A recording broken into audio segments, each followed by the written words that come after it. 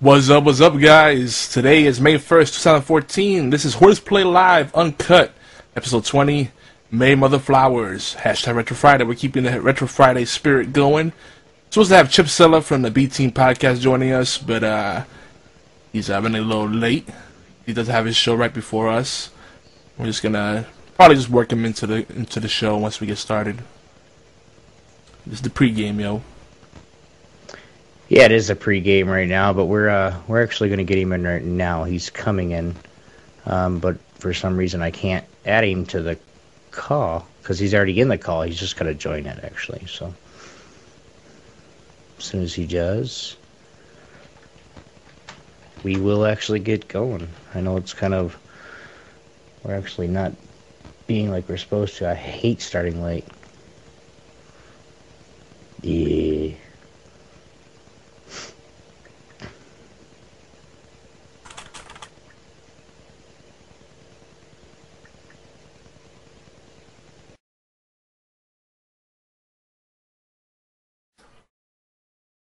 Uh oh.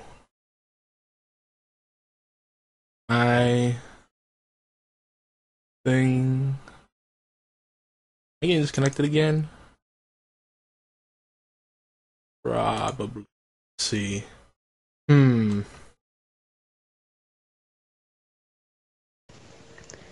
Hey, uh, Chip, we already got a call, man. Right, right. We already. Hello? Chip? I don't see him in the car right now.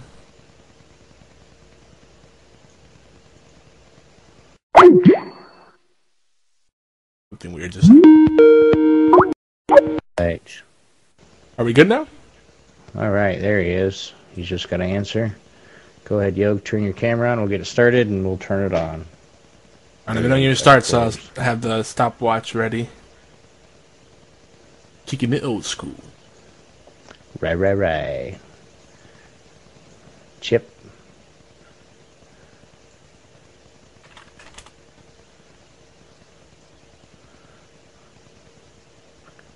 All right, I, I, I gotta get this.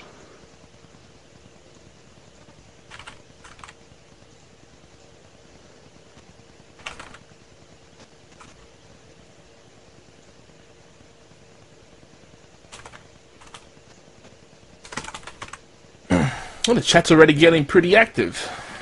It is, dude. We got uh, we got a couple of people actually in my chat already saying, you know, hey, what the heck's going on right now? And um, yeah, it's uh, I'm not liking it right now already. That's because you're a perfectionist to a fault. Oh, there he goes again. We'll just get it started, and he can just, just roll them in afterwards. Roll with the punches. That's what you do with podcasts. Yeah, we gonna do it. We gonna do that. We gonna do that right now. We gonna do that right there, right now, right now, sir. Not right now. Not right later. Right now. I don't know, man. You, that I I see it now, yo. I do. I see it. All right, starting. Um, starting music. You're referring to the robot penis? Right. Yes, we are. wow, I didn't, I'm just gonna think like you didn't even say that. Wow, my camera's off again, but we'll get it going. My camera? No, mine is just. ugh. All right, starting and starting the stream now, and I'm gonna do a countdown for music. Here we go. Two.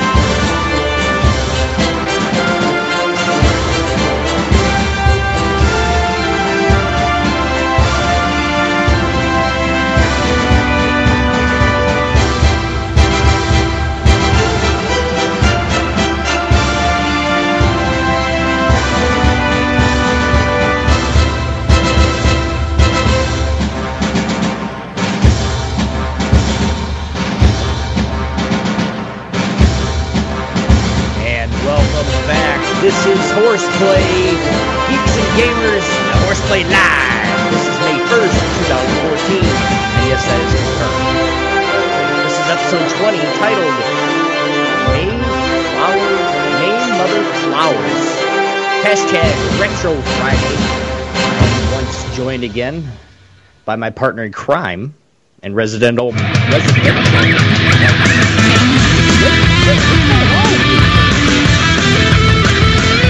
Music!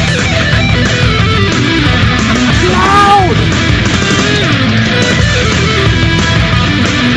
I can't hear!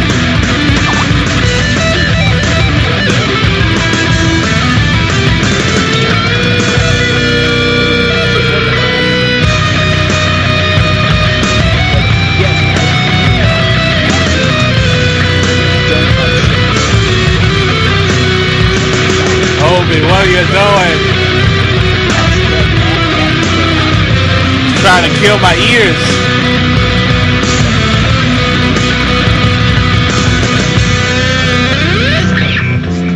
Welcome. All right, we're gonna get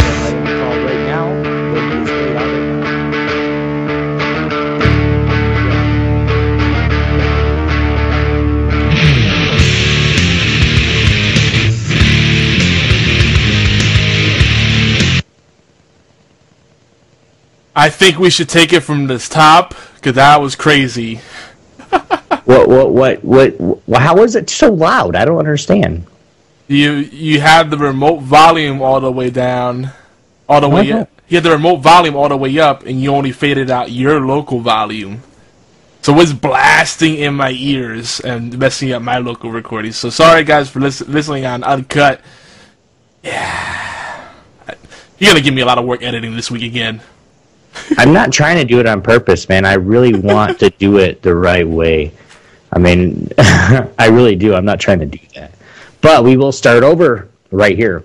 Welcome, geeks and gamers, to Horseplay Live. This is May 1st, 2014. This is episode 20, May Mother Flowers. Hashtag Retro Friday. And once again, I'm joined by my partner in crime, Yogizilla. What's going on, big man?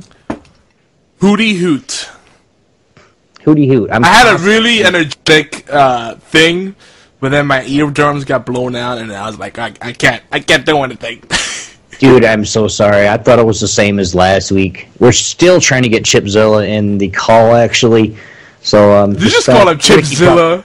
I did say Chipzilla because he's your boy, man. It's like you guys are one. Sometimes I did say Chipzilla. I'm not He's on part, purpose. he's part of the, the Zilla unofficial uh, group. Yeah, he is. He is. He is part of the unofficial. He is part of the official group. You know, of the of the allgames.com is where we're at, of course. Chip's Chip Cella is from B Team Podcasts and Agents of Shield Podcasts. Um, he's uh, his Twitter handle, of course, is at Captain Chaos, and uh, there he goes again. I want to see what kind of what's going on with him. Computer's been locking up, giving him some food bars. So, but we are going to get him in the show when we when we can get him in. Of course, I got my pings rolling like crazy. Well, Um, let's keep it, mo- yeah, we'll keep it moving because he's having some issues. Keep it there. moving on, Yog. All right, so uh, I guess we should. Since he's gonna be here in a second, you want to just jump straight to the news this time? Yeah, we can just go right to the news and, So and get some of that stuff done, and then we can have some more talk time with him. Yeah, but uh, quick, quick plugs. You know, make sure you do catch us on uh, allgames.com where we have what I've been ca- calling tentatively horseplay replay because it's a tongue twister, and that's at five around 5 p.m. Eastern on allgames.com. Or you can catch our previous week's episode. We have an archive there and a blog, so check that out. And of course, our main HQ, our main hub, geekyantics.net. And uh, of course, we get the voicemail line 206 415 4987 if you want to join the conversation and uh, be part of the the geeky antics. I mean, that's really what it is shenanigans and silliness. Uh, you can also email us if you're, sh- if you're not much of a voice person, maybe you're shy. Email us at uh, geekyantics at gmail.com. And we got a bunch of other things coming up, uh, including a new Twitch channel, might do the YouTube. Uh, though I'm kind of hesitant about YouTube because they got a lot of crap going on. But uh, yeah, we got we got some stuff setting up, and you know, just gonna say it real quick. Uh, we were just on the Gaming Death podcast, who's now uh, part of the Geeky Antics network, and they're they're officially our pre-show at 9 p.m. And they've been doing this for a long time uh, as the gaming podcast, like four years. So we're happy to have them. Um, and uh, you can catch them at gamingdeath.com. And uh, yeah, I think it covers all the bases. You can see their feed and the, all the pertinent links over at geekantics.net. And uh, so, so tonight on the show, we're going to continue the Retro Friday, hashtag Retro Friday series. To kind of just get back to the basics and, you know, the days when games were fun, had a lot of replay value, and uh, we weren't quite as jaded or cynical. Uh, and, and, I, and again, I say, remember, keep an open mind. Retro gaming, even simple games, they're indie games. They're not just for hipsters, you know, and people that just like pixel art. You know, it's it's about returning to the core, the true essence of gaming. You know, having fun. Um, Right. And we'll be talking Marvel Hu- Puzzle Quest. I was going to say Puzzle Quest. Marvel Puzzle Quest. Yes, a new game. Marvel Puzzle Quest and uh, Hearthstone. Uh, as soon as Chips joins us, we'll be doing getting deep into that as part of the feature discussion. But uh, on to the news. You want to share some of the news that we have uh, today? Or you want me to take this, Obi? Oh, Yeah, we go ahead. Wait, I'm wait, wait, get. wait. Uh, You see? oh, he's here. Chip finally Sorry, back. guys, everything locked up. And and for those that are actually watching live, I I'm sorry guys. We're we're getting everything cameras up, but we're he actually is here, so we're actually to start this. Yogi, if you want to keep uh, just talk to Chip a little bit, um, and uh, I will get everything set up so we can actually get this going and get it going right. How's that? So yeah, uh, Chip, you came just in time. We were just gonna blaze through news real quick so we get into the hot and heavy of the evening, the main event of the evening. But uh, Hopefully, we get a bunch of uh, the uh, B Team Alliance joining us. That'd Yeah. be nice. that'd be cool. We, we're set up for call-ins, and by the way, that's ever play them. So now we have some hard numbers to back that up. And I could tell you, a lot of us uh, in our community are still recovering from the Steam Winter Sale. We have a massive backlog of games, and they're still doing sales. That would be Yogi, everybody. Hey, there's- I'm not the only one. It's a lot of us. I want to try to hide the fact that I, mean, I am one of them. I am. You're the main one. But, but I've actually been genuinely playing each of those games, recording gameplay videos, streaming them, and enjoying every one of them. It's just so. It's actually a case where there's not a lot of crap. It's just a lot of good games, and I don't know which one, where to start. Like really, it's it's crazy. So here, here's some quick stats for people like numbers. And uh, um, Chip, have you heard any any of this? What's that? Uh, stre- uh, people wa- watching the streams and all that. No, the the Steam uh, usage data that uh, ARS Oh, Technica okay. got. I thought you said streaming. Okay. I'm sorry. Yeah, Steam, Steam. You know, Vo- the Valve thing, the the PC Master Race thing. Yeah, you know my uh, take on that. I know, I know. But uh, some interesting stuff. So here we go. Uh, so these are some some of the key takeaways that I noticed. It's a very rich, long study. There's a lot of stuff in there, but this is what I pulled away from it. So 37% of the 781 plus million, so over 700, 781 million games on Steam libraries worldwide have Wow. not been launched even once. 37% of those games they've been purchased and never even touched. All right, Okay, so we can we can I make more fall jokes in there. we can make more jokes about that now. um, so 3.8 billion hours have been played on Dota 2 and counting. And that should be no surprise because that's a game that everybody on Steam gets for free. And it's also, uh, you know, League of Legends right now is the most played game online, but Dota 2 is not far behind it. So, pretty interesting stuff. No World thanks to Chris. Oh, oh, oh, oh, thanks to him. What? What did he have to do with it? No, no thanks to Chris because he doesn't even know what League of Legends is. okay? Oh yeah, and we're talking about Chris Gannon over at uh, Gaming Death uh, podcast. We were just on there. You can check check them out again. We had some we had some fun. The Obi joined the last leg of it. He missed most of the freaking train wreck. it was great. It was a good show. It was a really good show. We had some good good discussions. But um, another here's another fun fact: 600% more time has been put into Modern Warfare 2 multiplayer as opposed to the campaign or you know single player experience. 600% more, or six times more if you prefer. If you don't like percentages, that's pretty crazy. That's, that's a pretty significant number, It's a lot. and it, and it shows that it's that there's less and less. To me, there's less and less people that actually care about single player stories. I know, I know, Chip, you like single player in games, right? Yeah, I'm not much of a multiplayer game. Everyone's it depends on the game. Yeah, yeah, yeah. Well, obviously, Yes. Marvel Puzzle Quest, you, you like the multiplayer there. You, you know, uh, being running this alliance is becoming a full time job.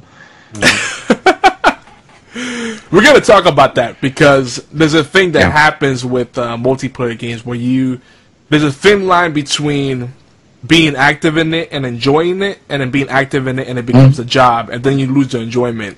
And I think that's a trap that a lot of us gamers fall into. We like OD on games, and then we lose the love for it, and that's why we're so jaded.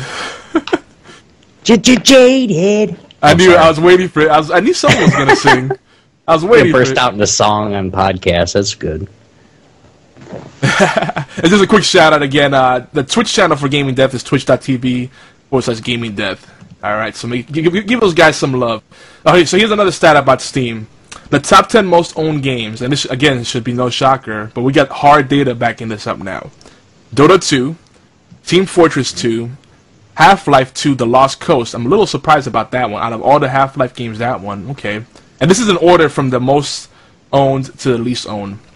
Counter Strike Source, um, Half Life Deathmatch, Left 4 Dead 2, Counter Strike, Half Life 2, uh, Portal, and Counter Strike Condition Zero. I don't think we have enough Counter Strike there.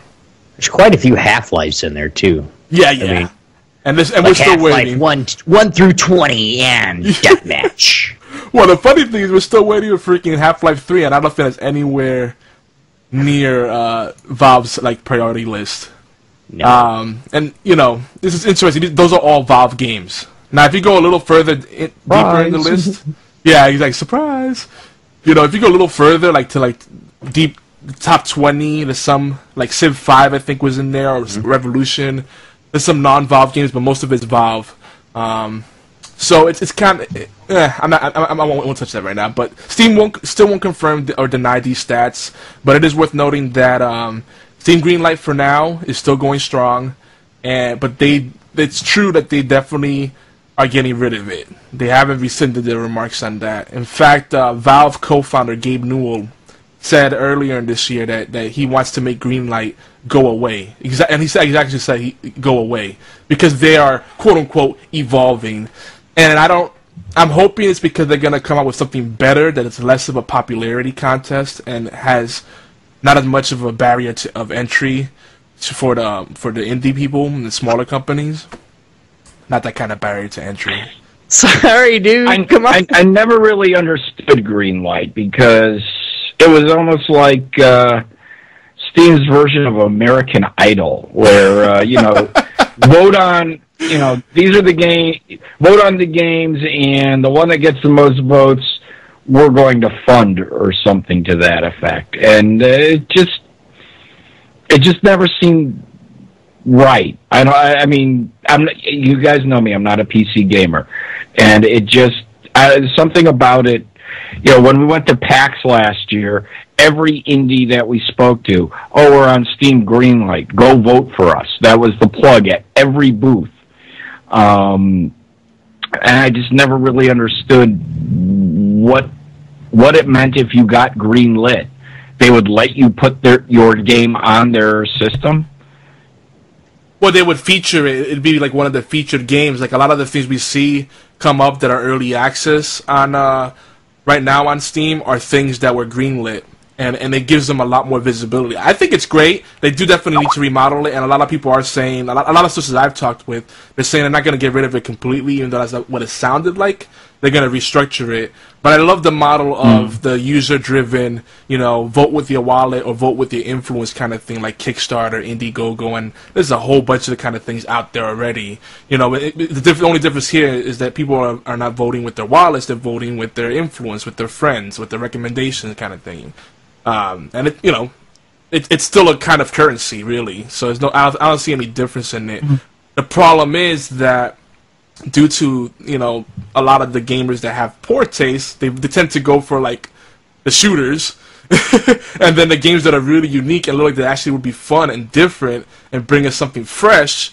They don't get the attention they deserve because like, oh, look at that. That that's not like uh, you know It's not like H Ultra HD graphics, you know. It's freaking 16-bit scra- sprites, or oh, it's 64-bit. Who still does 64-bit anymore? I mean, stupid stuff like that. yeah, but those are the guys, and those are the gamers that actually are the the what's cool now kind of gamers. So those like the people that got all the 2014 games for every system. Okay, those are the people that are are I'm going to jump on this bandwagon right now. Okay, um, because they're still we'll get into this later. I'm not even going to go into it. I, I was getting ready to rant. I'm not going to do that. Not right now. We got news to get through. I can't do it yet. Hell, I have my time. We're actually almost done with uh, the the news, so we're doing pretty good. But um, if we if we have a chance, we'll free ball on it some more and, and kind of mm-hmm. talk about the current state of the gaming industry, which is a topic we always go back to. I can see it in K- Captain Chaos's eyes. He wants to talk about this. Oh, I know. This hits home for all of us, whether you're a PC gamer or not. Because it's just bad practices all over the place. But, you know, love it or hate it, the PC still is the most open, inviting, accessible platform for game developers. Uh, maybe, uh, and I'll agree. Uh, go ahead. Go ahead. I'll agree with you there, but what uh, and you know, you're talking about the state of gaming. Uh, the state of gaming is pretty freaking scary right now. I think. Um, you know, we went to PAX, and we're gonna get into this Chris later. I, all right.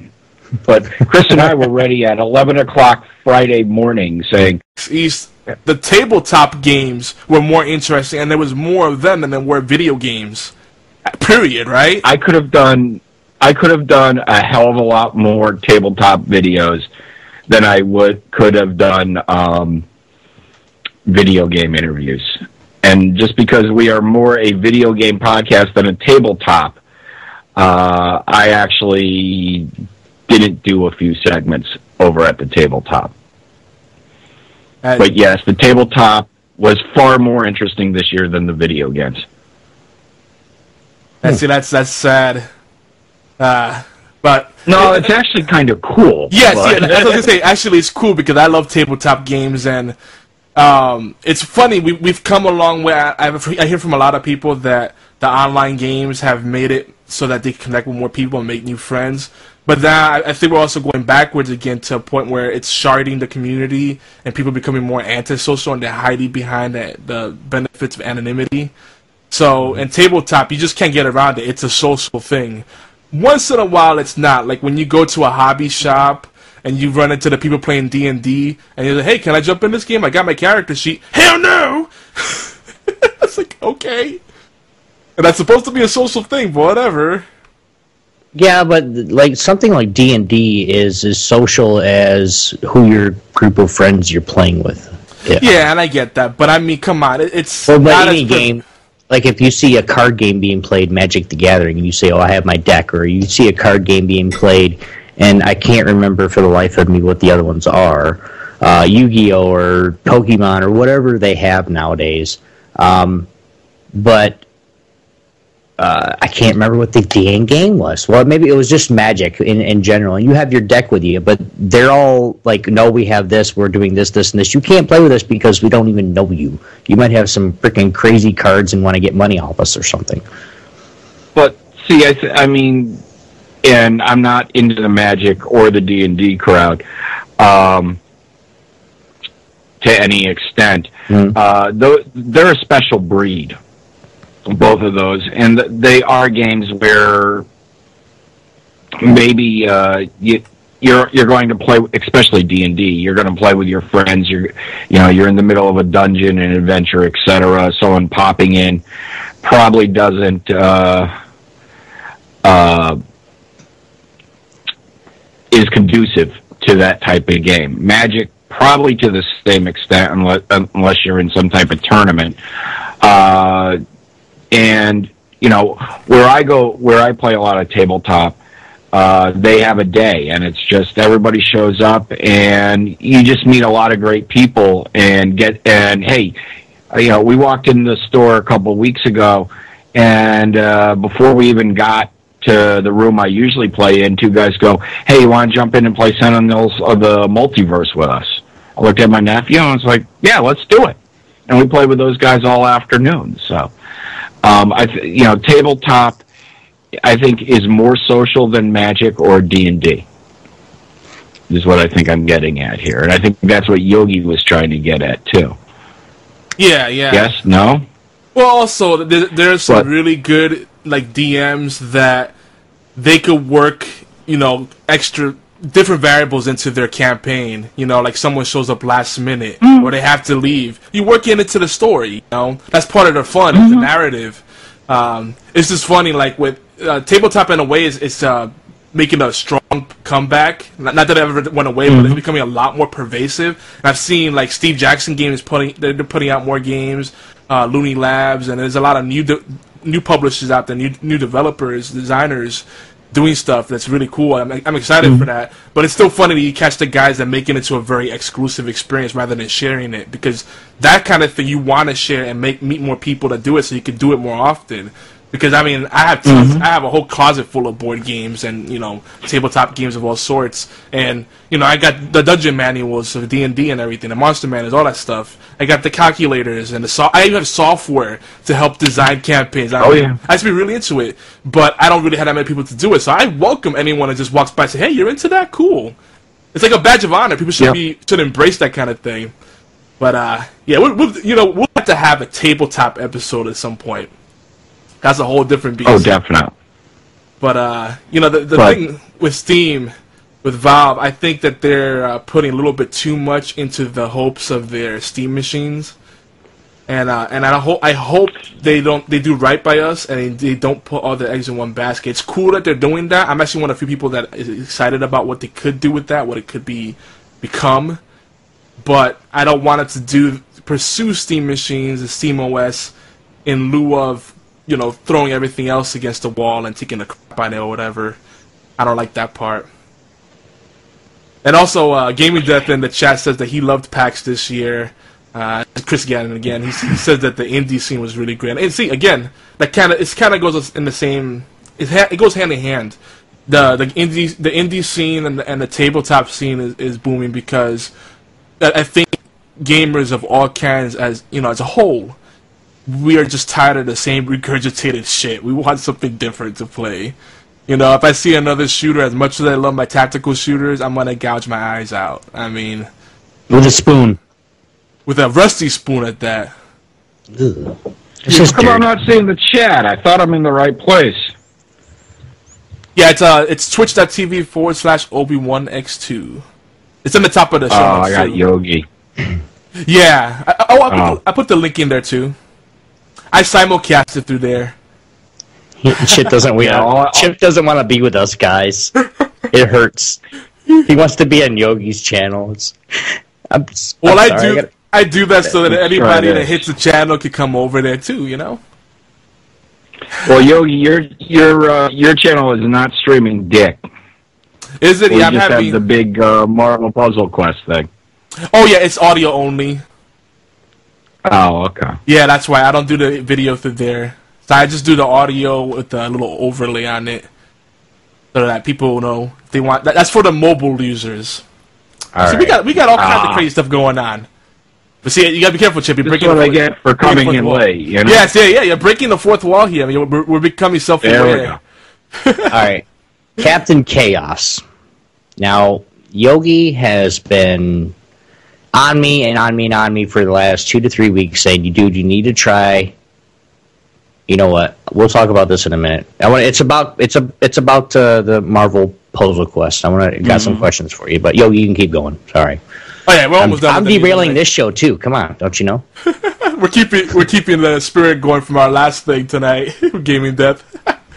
so yeah, no, uh, so anyway, moving on. Uh, so Microsoft, in the world of Microsoft, the Xbox Originals channel is coming out, and they. I was surprised that they had so many things lined up already, so many uh, shows and uh, partners lined up for it. And actually, at first, I thought this was a huge joke. but they have some pretty good programming, and I'm kind of hopeful about it. Um, not just because I'm a little bit of an Xbox fanboy when it comes to the uh, choosing the console, but the fact that you know one of my favorite channels used to be Sci-Fi, and they've gone down to complete, you know, you know what. I mean, Sci-Fi doesn't even. Yeah, they don't even they don't even play science fiction anymore. Mhm. and that, that that name change. Ever since they changed the this changed the name, it's like they went to full retard mode. And I'm sorry to mean say that. Syfy? Yeah, Syfy. When they became Syfy? It's Yeah. terrible. Uh, but uh, you know, the, the, the Spielberg is supposedly producing the Halo TV series. I was like, damn, that's kind of a big player to be doing that. I'm a little intrigued. What, what do you guys think about this? I can't wait. Um, I'm not really a Halo kind of guy, and we're talking about the Halo the game, right? With the space shooting the big plasma guns and all that stuff, right? Mm-hmm. Correct. Um, well, I just I don't, you know, there's a couple Halos. Uh, I'm not really a Halo guy, but the sense of it could being like a series or something, I would actually really, really want to get into it. Make sure I watch it every week. I mean, that's just me, but I'm a, I'm a retard sometimes too. But you know, I I just never got into the Halo mythology or universe, so I don't know. that's it. You know, I, I'm in the same boat. I, I enjoyed playing Halo, but it's not like I'm so into the mythos that I need more Halo content. Like I've watched um, some of the stuff they have like on Netflix, the CG movies and stuff, and Red versus Blue is, is entertaining, though that's not officially a Microsoft thing. But uh, I'm not like one of those people. Like the thing, it's funny. As much as I love Xbox and I and I've been on Xbox Live since pretty much the very beginning. I wasn't one of those people that thought Halo was revolutionary. Because as a PC gamer, I I played that game a long time ago. It was called Tribes. It was called Doom. you know, but they made it seem like this is brand new. Oh my gosh, you you got guns and you're space marines and and you can ride vehicles. This who thought about this? How did they come up with this? Did they just sleep and have a dream? it's like yeah, they, they, that game's come out several times on the PC. Just just just so you know. I'm not trying to be a snob about it, but it's I, I, it's like when people you ever hear a song that's played on the radio and people are like, "Oh, I love that song. That's the best song they came out with." Like, well, that's a cover of a song by so and so, and it's so frustrating. People are like, "I can't. That's, that, that, he's such a good songwriter. They wrote this song, and look at that beat they made. That entire song is a cover. None of that is there. The only thing that's there is their voice." and the the obsolete me. beat that they made that goes like one step faster or one step slower. It's, it, it, it frustrates me, man. I think Chip was gonna say something too. I think it, it grinds his gears as well. Uh-huh. Well, um, I th- I think the I think what Halo did was it was the best first person shooter for a console at the time. Um, you know, we we had them before, but this was the first time where uh, the controls felt right, and um, the game was just a you know a quality first person shooter. Um, so yes, like you said, it's been on Tribes was on PC before, but this is the first time that they actually were able to bring it to your TV. Yeah, and and I, and I get that. Uh, I mean, that's, that's the argument about consoles altogether is that they have a, it's more uniform experience, it's more convenient, you know, um, and and of course it's the out of box experience. You don't have to deal with drivers and getting every all your settings optimized and you know patching things up.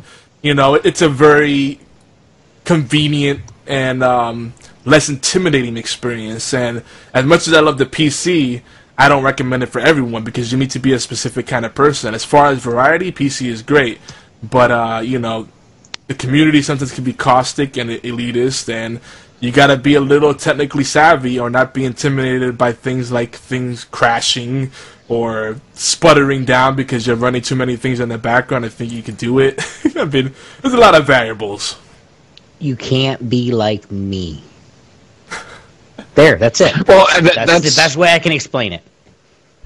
that's why I can't stand PC gaming is dealing with settings and uh, you know I want to be able to pop the game into my uh, system and it plays. No bullshit.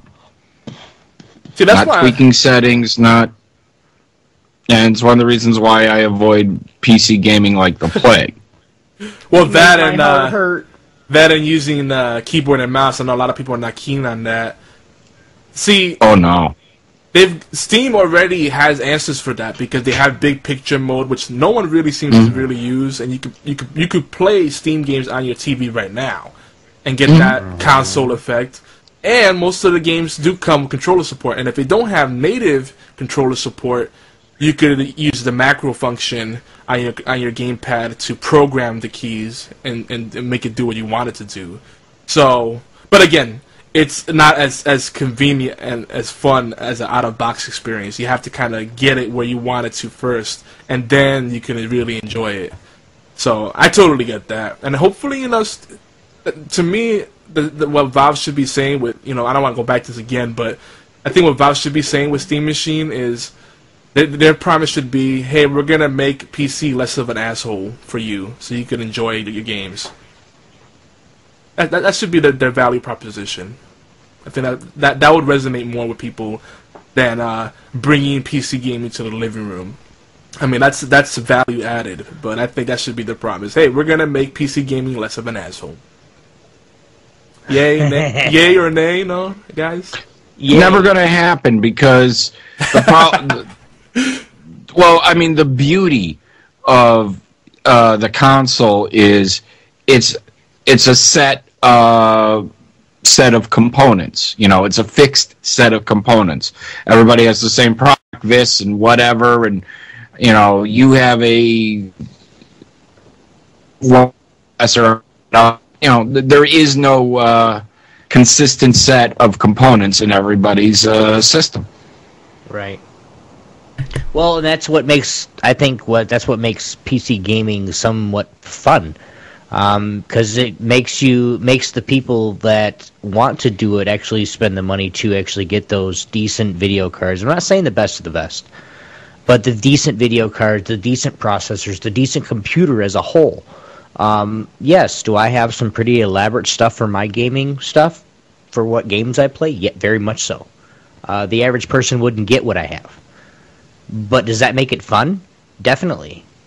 Does it make it to where you know where if you're uh, if you play World of Warcraft and you're a huge PvPer, okay, and you play with a multi button like a Razer Naga or, or a, a G3 630 or whatever for Logitech, if you play with those, you have all those buttons at your fingertips. Well, then you can actually identify when you when you see somebody that doesn't use a multi button mouse uh, and the, the, the earliest detection is basically backpedaling. You know, that's we just don't do that because we strafe and we move with our mouse. You know, just those little advantages are what make people good at the games that they're playing.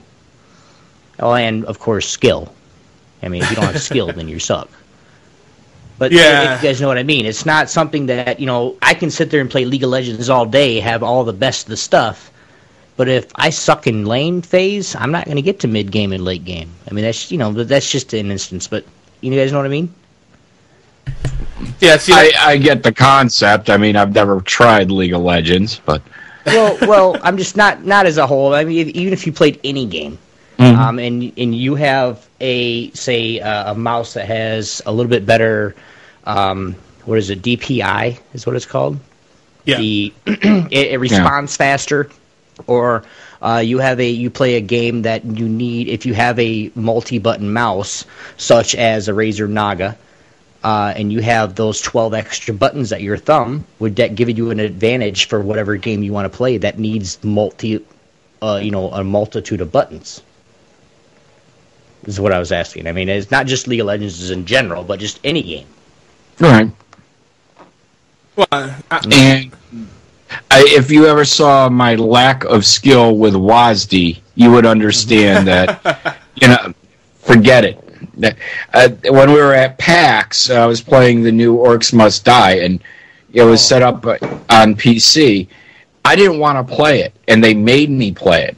And after one round, the guy realized, okay, I'll take over and play for you because I am, you know, I just can't do it. I'm well, you know, I've never sat down to spend time to, you know, I'm still a hunt and pecker uh, typer. So it was like, no, until you have it on a joystick, I don't even want to touch this. And, and I know you want to say something, Yogi. I know because we've been cutting you off the whole time. But to those, to that right there, there are some people where they are better console players. There are some mm-hmm. people mm-hmm. where they are better strategy players. Like, I'm going to give you an instance, and then Yogi, by all means, take it away. My wife, okay, I got her into playing Hearthstone, okay? I love her to death. All my heart. I would die for her, this woman. But I will never ever play Hearthstone with her again competitively. okay, saying, you know, this is we're having we have our three games a week. Those videos are coming out. But it's getting kind of boring when I'm losing three in a row. You know, She's kicking just- your ass in Hearthstone? Yes, because now listen, I am a person that thinks just like I am thinking, like I'm sitting. I see the cards, this is what I think. I don't think about that this plus three shaman card that costs one mana crystal, I can put that on this guy that's a seven seven plus one to everybody. I can give him attack three, that gives him ten, but I don't think like that. She does. She thinks well in advance. She beats my ass in chess too. I don't like it. That's why I don't play her in chess anymore. That's But why she's a wife. They're evil and Yeah, yeah, evil well, definitely. masterminds. But if you were to ask her to say, "Hey, hey, Missy, go ahead and go try," um, you know, I'll just say say it, League of Legends or Arma Two, she's gonna go, "Huh?" just because she has no desire to play those games. These a strategy game for her is the most gratifying time to where she can just sit and think about how to deviously destroy somebody from the inside out, and it happens to be on Hearthstone. now, will I make sure she tries the Marvel Puzzle Quest and all that good stuff? I will definitely do that, and I will do that for you, Captain. She'll like Right, Marvel okay. Puzzle Quest. She's gonna like Marvel Puzzle Quest. If, if she likes that abomination called Candy Crush, Marvel Puzzle Quest is like a billion times better. It actually has oh strategy. You know, match like Right. I, I usually think match three games are uninspired, but Marvel Puzzle Quest, and again, we're gonna get into that. It, it's actually got some depth to it. It's free It's free game. if you play it a certain Free way. game. If you play it a certain way, it's like Hearthstone. and, and we're we're we will definitely get into how to avoid paying eh, for Marvel Puzzle Quest because because it is probably one of the lowest paywalls in any of these games. Wouldn't you say, Yogi? Yeah, absolutely. Because up up until um, I started funding the alliance in the four or five months I played, I had only spent fifteen dollars. Yep. and I really didn't even have to spend that if I uh, didn't want to and wanted to support the game. You know, at least give them a tip from time to time. Now that now that we have the alliance, I've probably dropped eighty bucks buying uh, all our spots, or almost all our spots. yeah. Um, we do, the two other commanders have uh, contributed as well. yeah. Yeah. So So Yeah. I'm actually getting in this game to join you. Is that what this is? Hmm? So I'm actually getting in this game to join you. Uh, no, we're not accepting any noobs right now. But you could join us indirectly by becoming our Facebook friends and sending us Yes, you get you, we we will we will support you on Facebook, but uh, the we're we're having a, a few issues with the alliance where the veteran players are a little frustrated with the noobs right now. So Yeah, we're gonna get Um, into that, but I, I, I know I know they're lighting a fire under your ass because you're like busting Mm. our chops hardcore, and I'm I'm not a slacker. I just don't grind as hard as some of these guys where they're hitting top ten and twenty. To do that is just too much of a time commitment for me. But we'll get into that. Once in a while, I do pull out top twenty though, not all the time. It's FYI. Don't kick me. Don't kick me. So anyway, closing out the news, we were talking about Halo and um, Martin Martin O'Donnell, uh, who uh, you may know. He's one, one of those behind the scene guys in the gaming industry who uh, does music. Uh, his, his you may recognize his work. He's done the work on uh, Halo series, uh, on the new Destiny that's coming out, Oni, Riven, and Myst. So taking it back there, Riven and Myst. PC gaming, there you go. Though it, it's been on other platforms since then, but yeah, taking it back. Uh, Martin O'Donnell actually got fired without cause, as he says, by uh, the uh, Bungie uh, board of directors. Very interesting. Um, no, no explanation and no comment from them. But uh, moving on from that, I, I do want to share a fun fact uh, about um, how Bun- uh, how um, what the Riven developers used to spend their free time. They used to play a game called Marathon while they were developing uh, Riven and Myst and all that stuff. And and Marathon is like the roots. Well, actually, Riven, Myst was much earlier. Um, uh, what you call it. They, this is Marathon actually the game that kind of inspired Halo. So It's the precursor to Halo. yeah, exactly. So and it's actually one of the few games on on an Apple platform. that, that's probably worth saying. But uh, Well, originally Halo was going to be an Apple exclusive. yeah, can you imagine Is what that- world it would have been? that would have been very weird to, to me, at least. But uh, eh. Hey, Steam works on that on uh, Mac, and so does Hearthstone. Just just throwing it out there. Yeah. Um, ano- another thing that's cool, that's neat about um Martin O'Donnell's story is that the way he started working at Bungie was because he enjoyed this game Marathon. They were just playing during their downtime while working on Riven, and he just emailed a Bungie employee, and then he got hired. It's kind of neat, you know. That kind of stuff doesn't happen these days that much, but you know, it's kind of cool to think about it. Anyway, moving on. Oh, They didn't give a reason as to why uh, he just. They I- just up and. I mean, Marty O'Donnell has been with Halo or with Bungie forever. Yeah, and uh, I could not find anything. None of my PR contacts had anything. I mean, all the usual sources, I couldn't find anything. I mean, I probably could have stand to dig a little deeper, but no one knew anything other than he just tweeted out, "I was fired without cause." He tweeted it out, and that's it. It's very strange. I had a chance to interview him a few years ago, and uh, my nephew was being a pain in the ass, and we had to leave. Oh, your, your He- he cameraman. it. Yes, an asshole cameraman. I took him to uh, the video game orchestra, and Oh, nice. I had spent the ent- I had spent the entire weekend hanging out with Tommy Tallarico and uh, Lorne Lanning. I went and had pizza with Lorne Lanning, um, and we had a chance to interview Marty O'Donnell, but he was young. The music didn't interest him. At uh, you know, the concert wasn't all that interesting to him, and afterwards he faked an illness, and I had to bring him home. Oh god, So- yeah, that's terrible. I, from So- what I understand, Marty's a pretty, you know, down to earth guy. Mm-hmm. So, and uh, it's kind of a shame to hear this kind of thing because even though I'm not that big on on Halo as a game, and I I, I enjoy playing it, but it's not like you know the best thing since sliced bread. But I do enjoy the music. The music I find is kind of like I don't know. It, it usually puts chills through me and, and, and it creates that feeling of wow, this is an epic thing, or at least it's supposed to be. Well, did um, have you ever, have you gone to a VG, uh, video game orchestra concert? I've heard them. Uh, uh, Okay. through, uh, yeah, It- means. if you get it, if you get a chance, and uh, you know this is weird. I, I guess I should put the Skype window on my main screen here. There we go. Because all I'm doing is looking to the side the entire time. yeah, what, we do, Um, what I if- do is I put the, the the your picture, your video, right under where the camera is at, so Yeah. it looks like I'm looking at you. It helps out.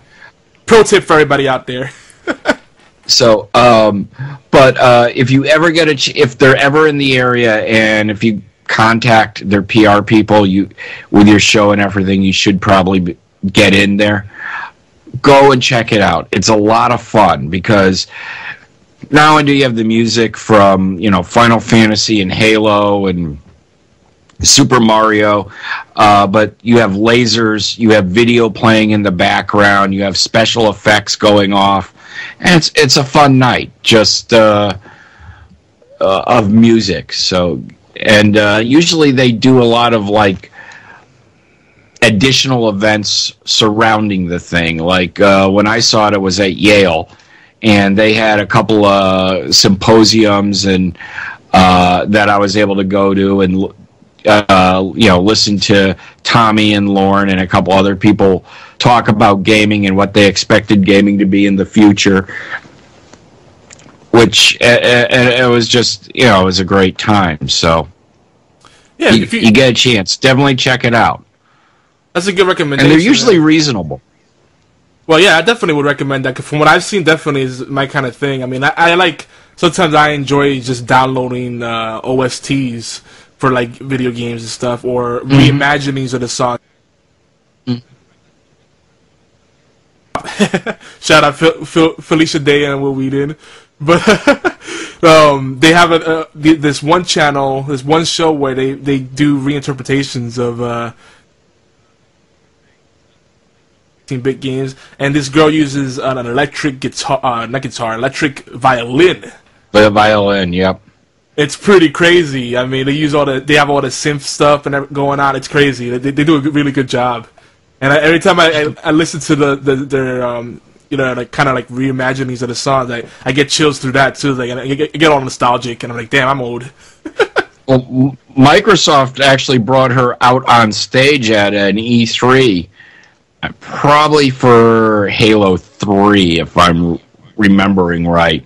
And they had her uh, doing like the Halo theme song on the electric violin, and it was yeah, yeah. pretty freaking amazing. Yeah, she's good. She's good. She freaking yeah. rips on that thing like it's, like it's an electric guitar. so anyway, we're almost done here with the news. Uh, we, we, last week we reported on episode 19 that uh, Hearthstone's doing these fireside gatherings, and uh, Stan, our own Stan Farina reported that it, they've been mostly a flop. This they were supposed to do these for an extended period. Hopefully they do, but basically the idea is that anyone can host a meetup and Blizzard will list the location of the meetup, and people can bring out their iPads or if they want their computers, if they can actually get hookups, and then uh, play Hearthstone together and use the player near near me option to play with people in the area. And then if you do three matches like that, if you play with three people on your subnet, basically the same wireless network or the same LAN, then you get a uh, limited edition card back, kind of like you do when you play ranked play. So it's kind of neat. I hope they keep that up because it's a good viral yeah. agent. Obi, what, what, what you got on that? I got one. What's that? I have people come over to my house all the time and play Hearthstone on my network. Yeah. Well, dude, if you do three people at the same time, you should do it. Uh, yeah, I got one more coming over. I got one more coming over tomorrow. We're actually going to do it. We're going to play some Hearthstone. So. So you get get contact yeah, Blizzard. You, we'll we'll, uh, we'll try to put it on uh, stream too, maybe. We'll Dude, you got to make an event out of this. We'll, I'll pimp the hell out Definitely, of it. Definitely, man. And I know everybody else will. Because uh, Blizzard puts you on, on their directory, and, and you could call it Casa Obi if you want. You know, they don't care, and then they put it on there. They see the time and location. Dude, exactly. You see what I'm going with this?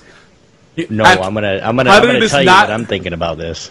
Yeah, but it's kind of cool though, because I, I mean I know that that they could probably stand to give people more support and help with the whole thing and organizing it, but you know they already give you like some like a little cheat sheet, like a little handbook on how to set up your your meetups.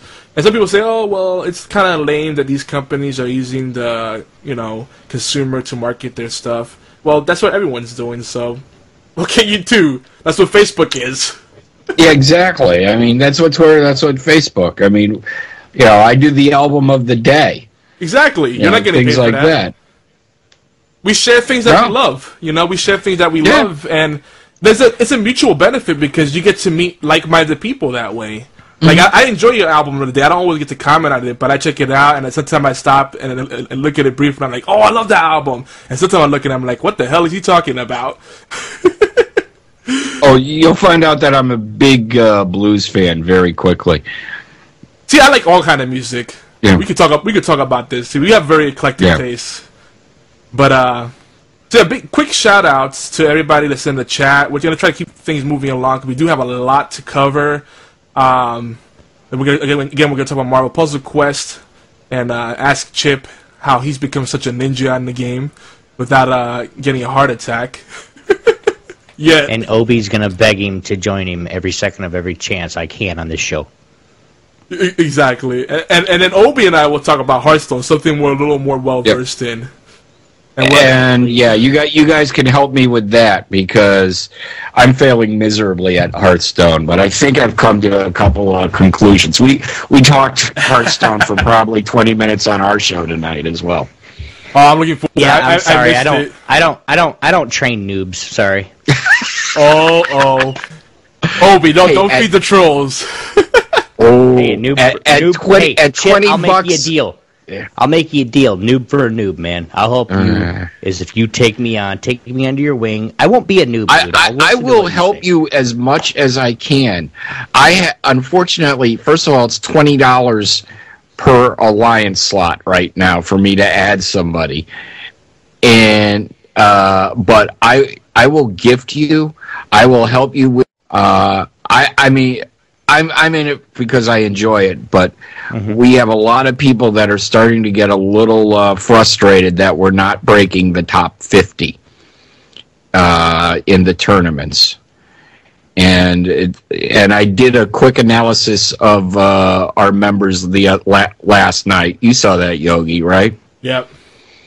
where uh, the top the the top performers are uh, averaging somewhere around a thousand to fifteen hundred points per alliance member, and we're at five hundred.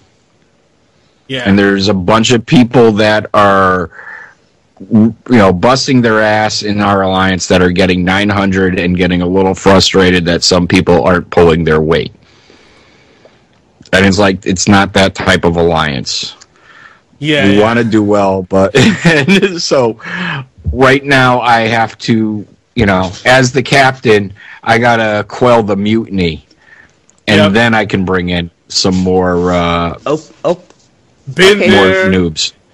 Been, I accept that.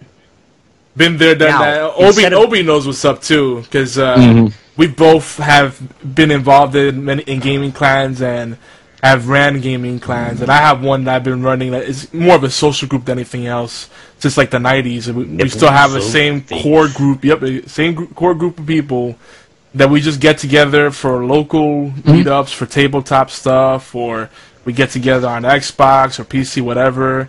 And you know, we're just very casual.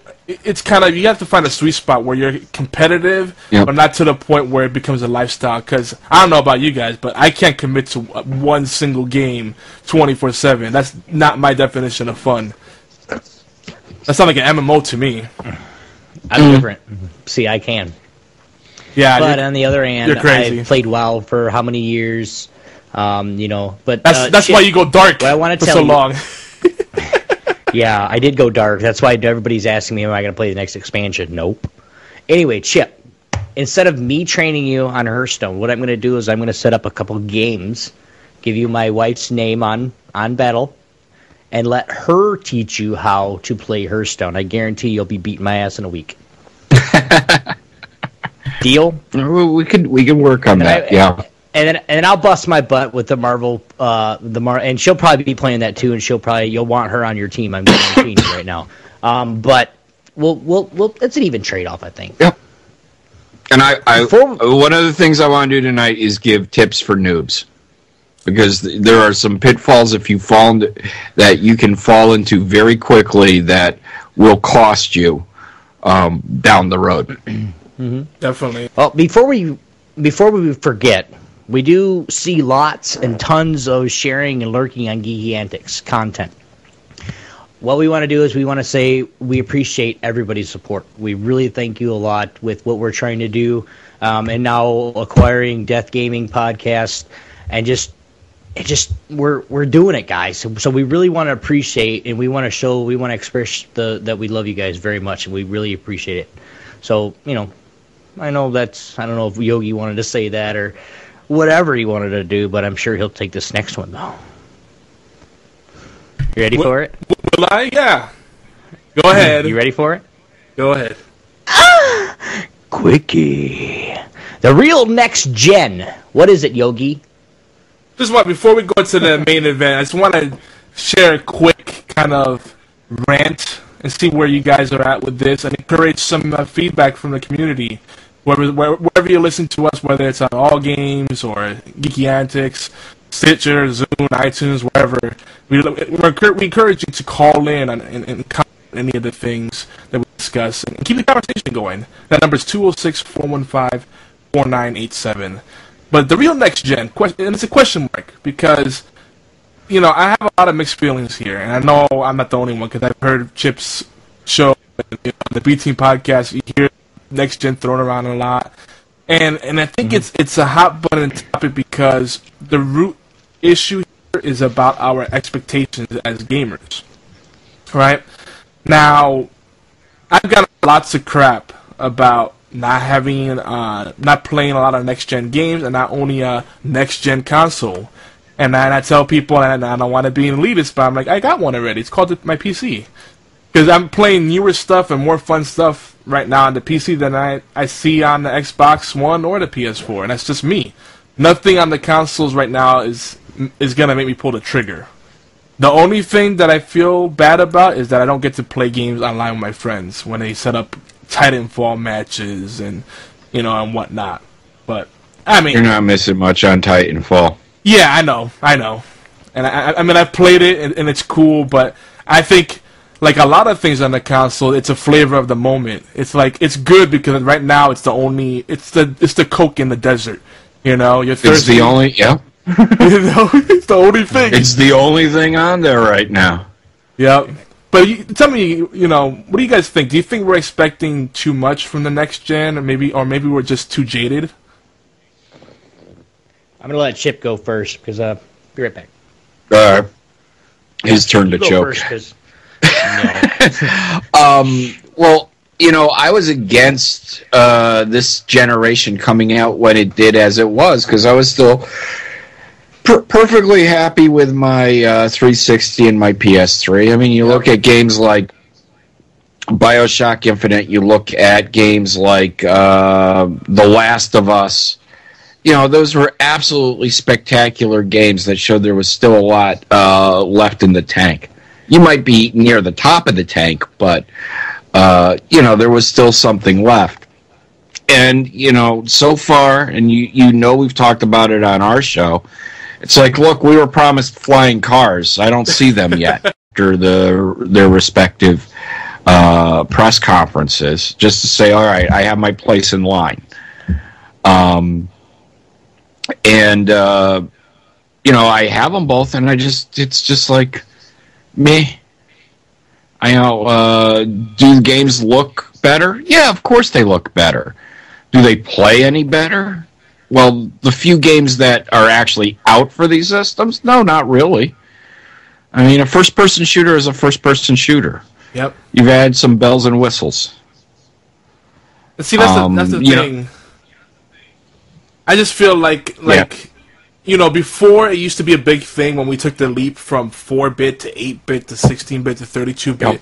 Not so much because the graphics were better, but it was a significant change in, in the um, amount of possibilities that opened up for the developer. Their their creativity was no longer limited. But that that's been the case, like I would say for for like two generations already. The, the people have a lot of power to take advantage of for a long time already, or at least with the 360 and PS3, they've had that power. They just haven't done anything fresh with it. You know, and some people say, well, when you ask for new ideas and it comes out, it tanks. Well, that's because they're, they're, they're not handling it the right way, you know? They make all this hoopla about these uh, regurgitated games, but then the things that really need our attention get no kind of mention. There's no viral campaign or nothing, and they just kind of go under the radar, right? What do you think, Chip? Um, I'm collecting my rewards for the simulator. Well, I saw it out in Um, your head, so I figured you had a lot of stuff to say on that. Well, no, I'm and I, I and I'm agreeing with you because, uh, well, I think there's you know a okay. It takes a little while to get your head around the hardware and learn how to to make this new instrument play music, and you know, so you know, being an early adopter uh, for every generation of console.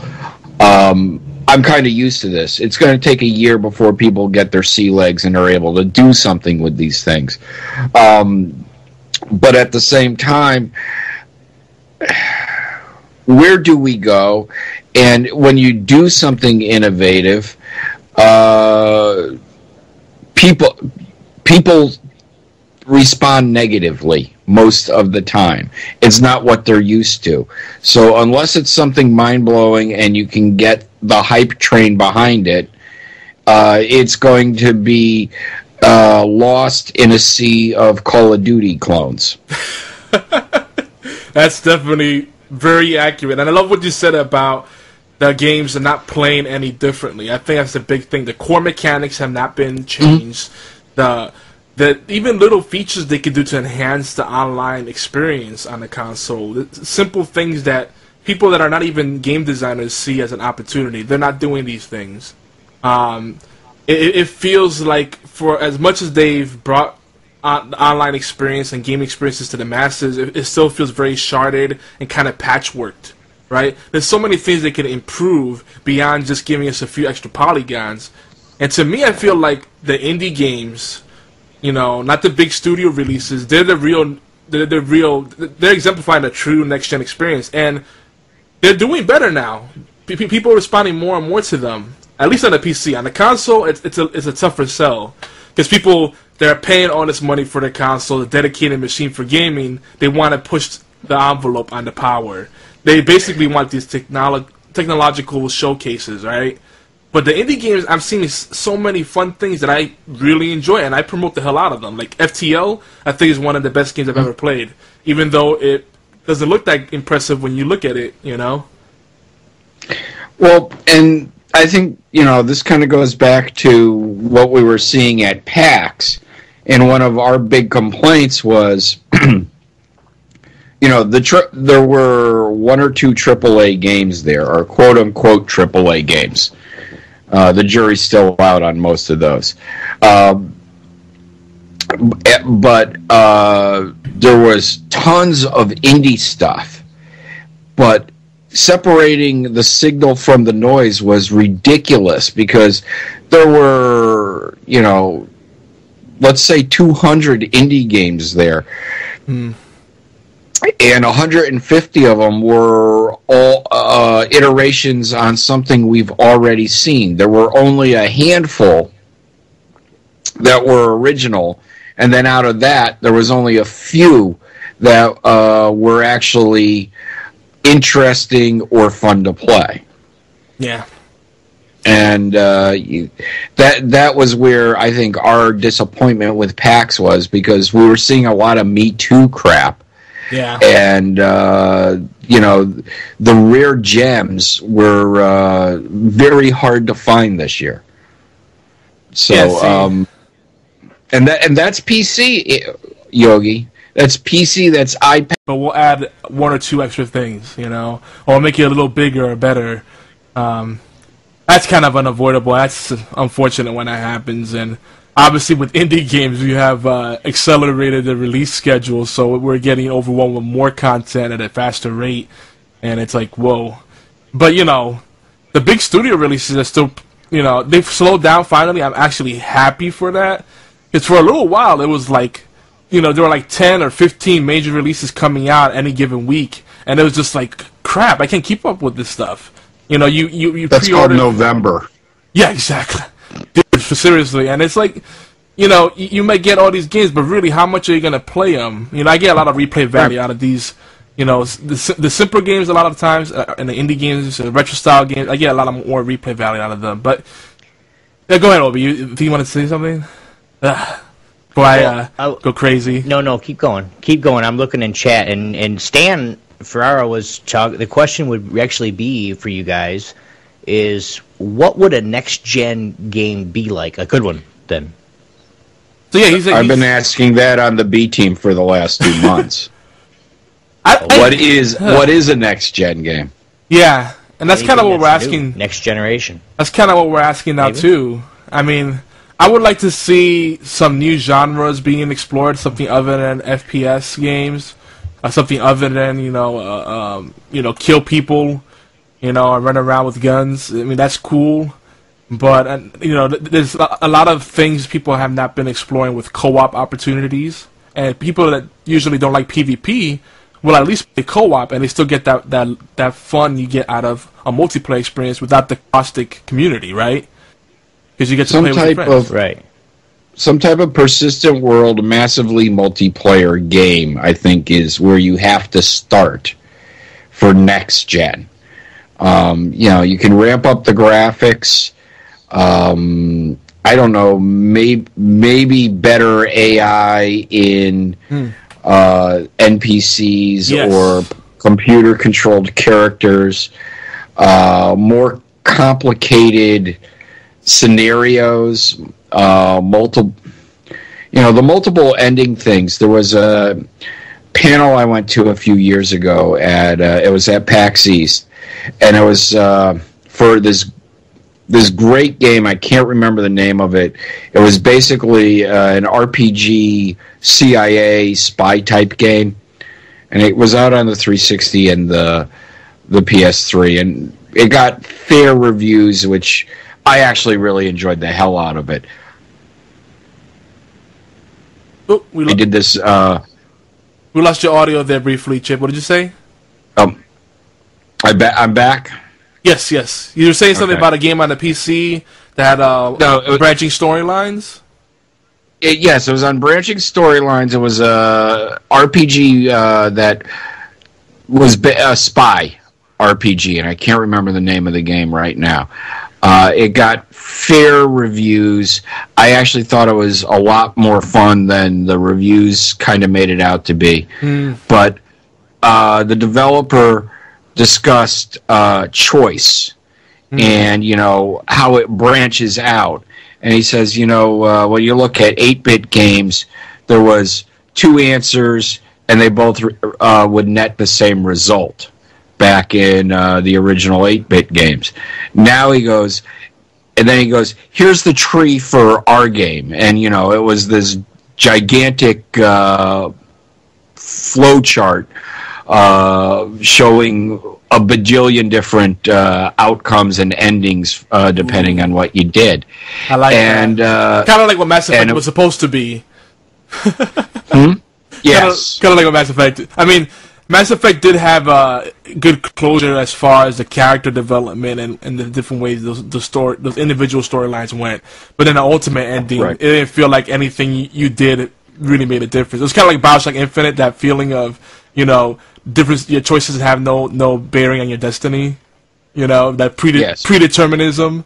But Chip, I gotta stop you for real quick because I love what you said about AI. That is one of my favorite parts in game design. I've, I've and I used when I used to be into the game development pretty heavily. I, I used to love writing AI algorithms because getting that fuzzy logic and finding ways to create uh, an NPC or some some kind of entity that feels like they're human, but you know they're not why aren't people exploring that more? Like having, you know, like in, in the Resident Evil games, having an AI partner that isn't an idiot and isn't dying every like, you know, 20 seconds. You have to heal them. You know, that that's the kind of stuff we need to see to really say this is the next gen. I could give two shits about freaking virtual reality and extra polygons. We're past that. I, everything you said is on point with the AI. Uh, I love choice because choice and, and deep customization is it, those are contributing factors to replay value and immersion. And immersion to the point where you get lost in the experience and you're like, I don't want to be anywhere else. I'm I'm I'm in this and that's it. That's that's definitely he- the next gen. here's the definition of next gen an escort mission that's actually fun. Well, The- well, well, played, once sir. you do that, I think I think we, we the next generation will have arrived. Or or I'll add to that espionage that's actually fun. Not just listening to someone or, or walking behind them, like making it like you really feel like you're a spy and it's fun, not just mundane crap. So anyway, so let's get out to the main event. Our feature, which Uh, we- we've titled "Solving the Strategy Puzzle," and we set the stage because we, we're talking about how a lot, a lot of times these simple games are more fun for us and more immersive than these big budget games. And it's why we find ourselves playing games like League of Legends, Arma 2, which right now is kind of old when you look at the tech, but it's still fun, and it's still coming out with mods, you know, and, and, and extra content for it. League of Legends, you know, it's a simple game on the surface, but we're immersed in it. Hearthstone, Marvel Puzzle Quest, we can go on. I mean, and also one of uh, Chip and um, my, my uh, favorite games of all time, Herzog Zwei. Just want to put that out there. okay. That's a Yeah. I love that game. I used to, we played that in college, and uh, uh, my roommate and I. Uh, if he won, he would uh, play uh, Queen's "We Are the Champions," and if I won, then I would play for him. Ray Charles is uh, "Born to Lose." So, uh, nice.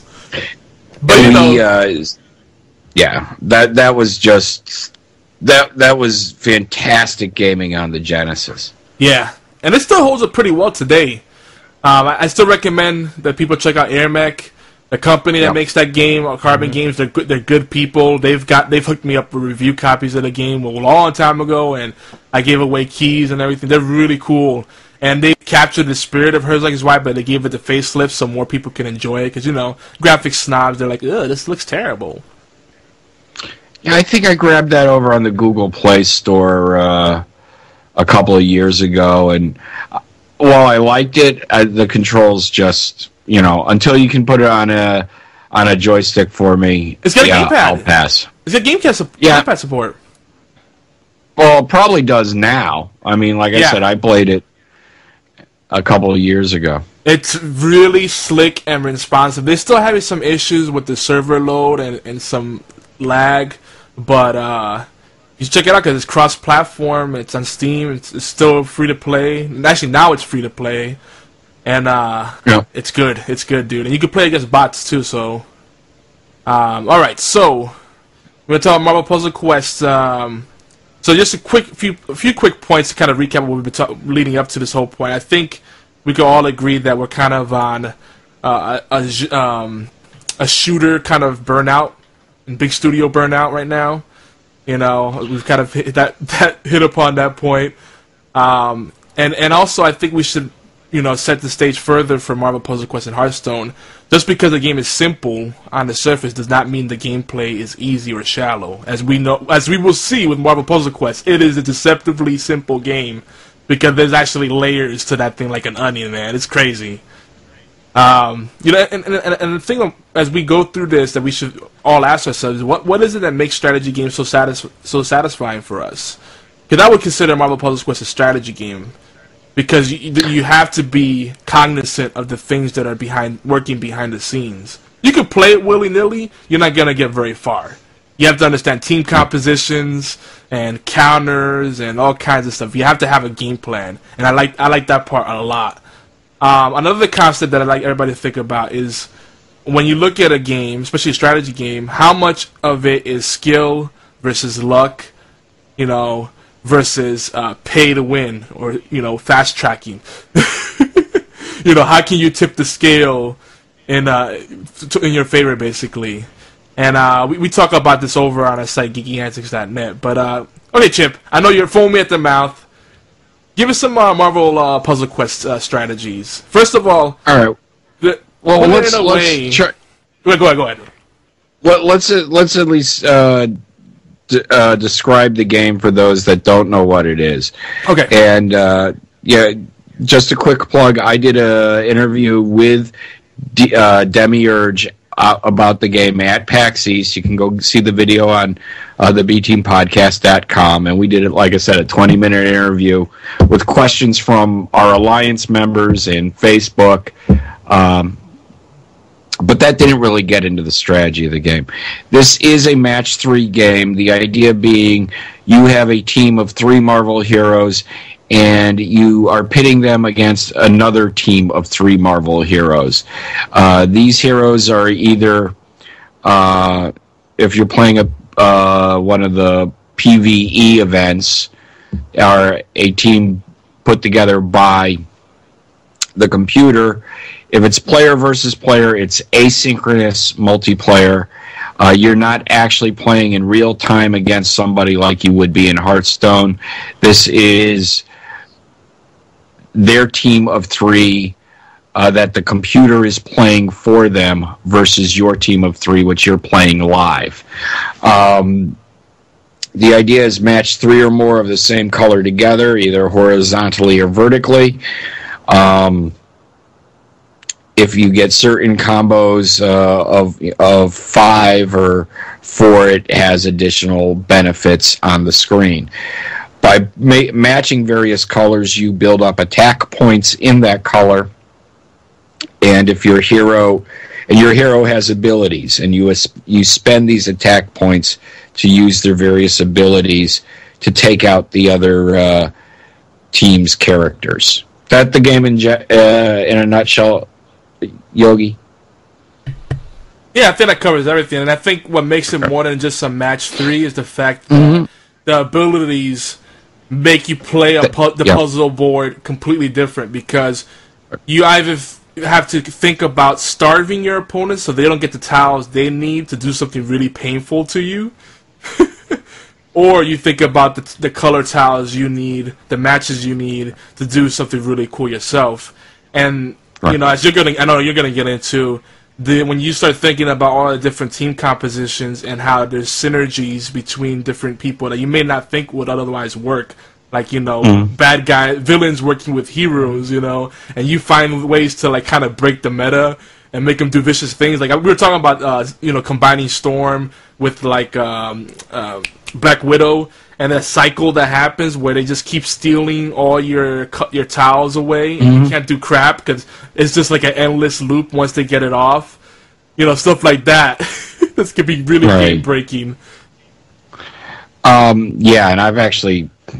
That's why the the sto- the single star storm character is still a pretty good character to have. Yeah. um, because somebody has found that, and I've been running into that uh, combination quite a bit lately. Um, what? Uh, yes, I think I, think uh, the the joy of the game is well. First of all, a lot of times it will force you into using or limiting what characters you can use, which causes you to have to come up with new strategies and combos. To beat uh, the other team, uh, wh- which I think is part of why I enjoy this game so much. Is because they keep adding additional characters, and now you have different dynamics that you can work with and build slowly. Uh, the other thing being uh, some, uh, you know, an obsessive compulsive. I need all the characters. I need to max them all and you are always in the quest for additional covers. You can only level a character uh, so far until you get additional covers uh, for that character. Each character can have up to 13 covers on them. And, and um, one star max out at 50, two star max out at 85, and uh, three star max out at 141. There are some four star characters. We don't have to really worry about those. They're very rare um, and pretty useless. Agreed. Um, Those are more so- collectibles right now than anything else, right? yeah, that that that's that's your e penis. That's all it is. Yeah. you know um so at this point uh the i so I, once you start getting into that and once you build up a, a decent roster and can start working out various combos uh, that's where the game really takes on its uh, a, a new focus at first i think you're just surviving and probably playing through the prologue missions and grinding and building up your initial characters is a great place to start. Uh, then you start adding in the two star and the three star characters as you randomly pick up some of these cards, and then you start seeing new ideas and new possibilities on how to combine characters, and I think that's where it gets pretty addictive. Um, what I tell everybody who starts playing the game is if you have if you get any hero coins at the beginning of the game or earn them in the game immediately just throw them into roster spots. Do never buy revives never buy a lock and never buy a random card. Yep. you will get you will get plenty of cards through various drops your facebook friends. You will get plenty of iso which is what you use to level characters. Uh, there is no reason for you to waste money on revives. Just have some patience your characters will revive Yeah. um, you, there is no reason for you to buy a lock and uh, take because there are right now I think what 39 characters available. Yeah, 39. Um, and that'll Yeah. make it 40, and Yeah. the new Daken will make it 41. Oh, They're doing a three-star Daken. Yeah, Um, Daken is a, is another one that's pretty underrated because he has a lot of staying power. Like with him, well, like- yeah, he's got durability. I I've never I've never leveled him. Well, I you know, I've never really used him or leveled him to something useful. Well, see, I have him maxed out, and what I do is I run him with mm. people with a team that he does has a lot of green and red abilities. Mm-hmm. Because mm-hmm. then what happens is he might tank the damage from the enemies, and if he's just taking basic attack damage, even from high level, mm. you know, 141s or whatever, uh, three mm. stars or four stars, he's he's he he could recover from those attacks as long as you keep your opponent starved from being able to get the big moves out. He can recover because mm-hmm. he get that that uh. He, he's like the the old Wolverine used to be. Remember when he used to like heal every turn? Now they got rid of that. Yeah and it's only when he's at fifty percent or less you got to get a yellow match. And you know, for right. people that's been around the game, they they might be nostalgic about that. But that is actually pretty good. He's he's a tank. Yeah. Mm-hmm. Well, um, what you guys are and what you guys are saying about this real quick i mean sorry i just want to chime in mm-hmm. here for a second what you guys are saying about this it actually does sound kind of interesting i've been looking at it on the other screen over here um, it's almost it's almost like Candy Crush. It looks like it. it is, but it's Candy Crush for smart people. Oh, then I'm definitely not going to play it then. the, the, the you know I played Candy Crush for six months. I got up to level four ten or four twenty, something like that. Um, so I mean, I was a uh, I was a big fan of that. Where this gets interesting is you're actually battling other people, mm-hmm. uh, and just you know the different abilities certainly uh, brings new dynamics to it. But uh, yeah, my first tip is uh, you know just take any hero coins you get and just buy roster spots because they get expensive very fast. And I know people who have dropped out of the game because, well, you know, I, I can't, I don't have enough hero coins to add this character. Yeah. Um, so, well, first of all, if you're enjoying the game, there's no reason why you can't drop five bucks and pick up 600 hero coins, and that'll get you a few more roster spots. Yep. Uh, you will eventually be earning enough uh, hero coins where uh, I don't know if you'll be able to afford, you know, I mean, right now another roster spot for me is something like 500 hero coins, but um, you can certainly earn a decent amount of hero coins once you start leveling up your characters. And you know, uh, if you enjoy a game like this, if you enjoy a game like Hearthstone, uh, you know, these guys don't work for free. There's, you know, this is what they're doing to put. They made this game uh, in order to make money to put food on the table for their people. If you enjoy the game, support the game, uh, and you know, even if you give them five bucks every two months, you know, that's cool if you're still playing the game and you're still enjoying it, you should do something like that. Um, mm-hmm. Eh, ne- never buy ISO. if you're going to spend money on the game, just just buy hero coins. Yeah. Um, and then, like I said, uh, you know, I, have seen people say, well, you know, I'm thinking of dropping this character or that character.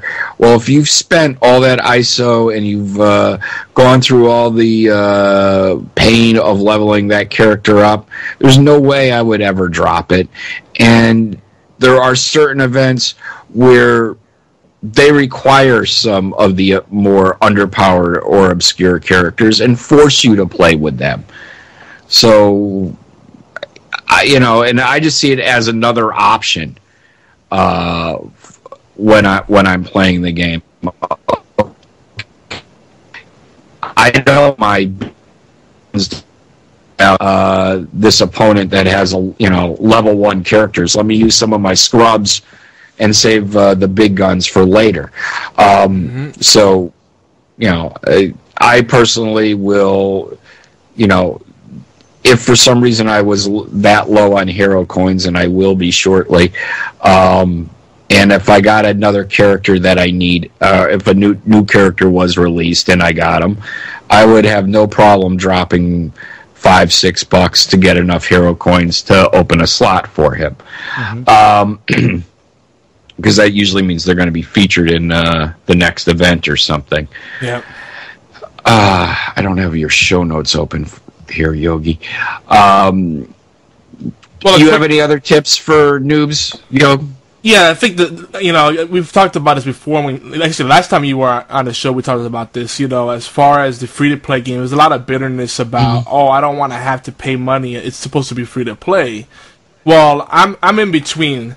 I agree. These are how they they have to make the money somehow. It's free to play because mm-hmm. they want you to try it out and see if you like it before you spend money, and then you tip them. Mm-hmm. It's like tipping any anyone in any kind of mm-hmm. service. Mm-hmm. But um, what I like about Pu- Marvel Puzzle Quest is that you don't have to spend that money if you play it smart, but you get to a point where you want to because you're thoroughly enjoying it, and you're not just being mm-hmm. slammed in the face with a paywall like that prevents you. It's not a forced obstacle, you know, where it's like you can only progress if you spend this much money. It's not like that at all. If you play smart, you know, like just like you suggested, save your hero coins. I did that from day one. I never used hero coins for anything other than opening up slots because I knew they were going to be few and far in between. They've gotten better about that too, because now the tourna- all the events are giving lots of hero coins and ISO and covers.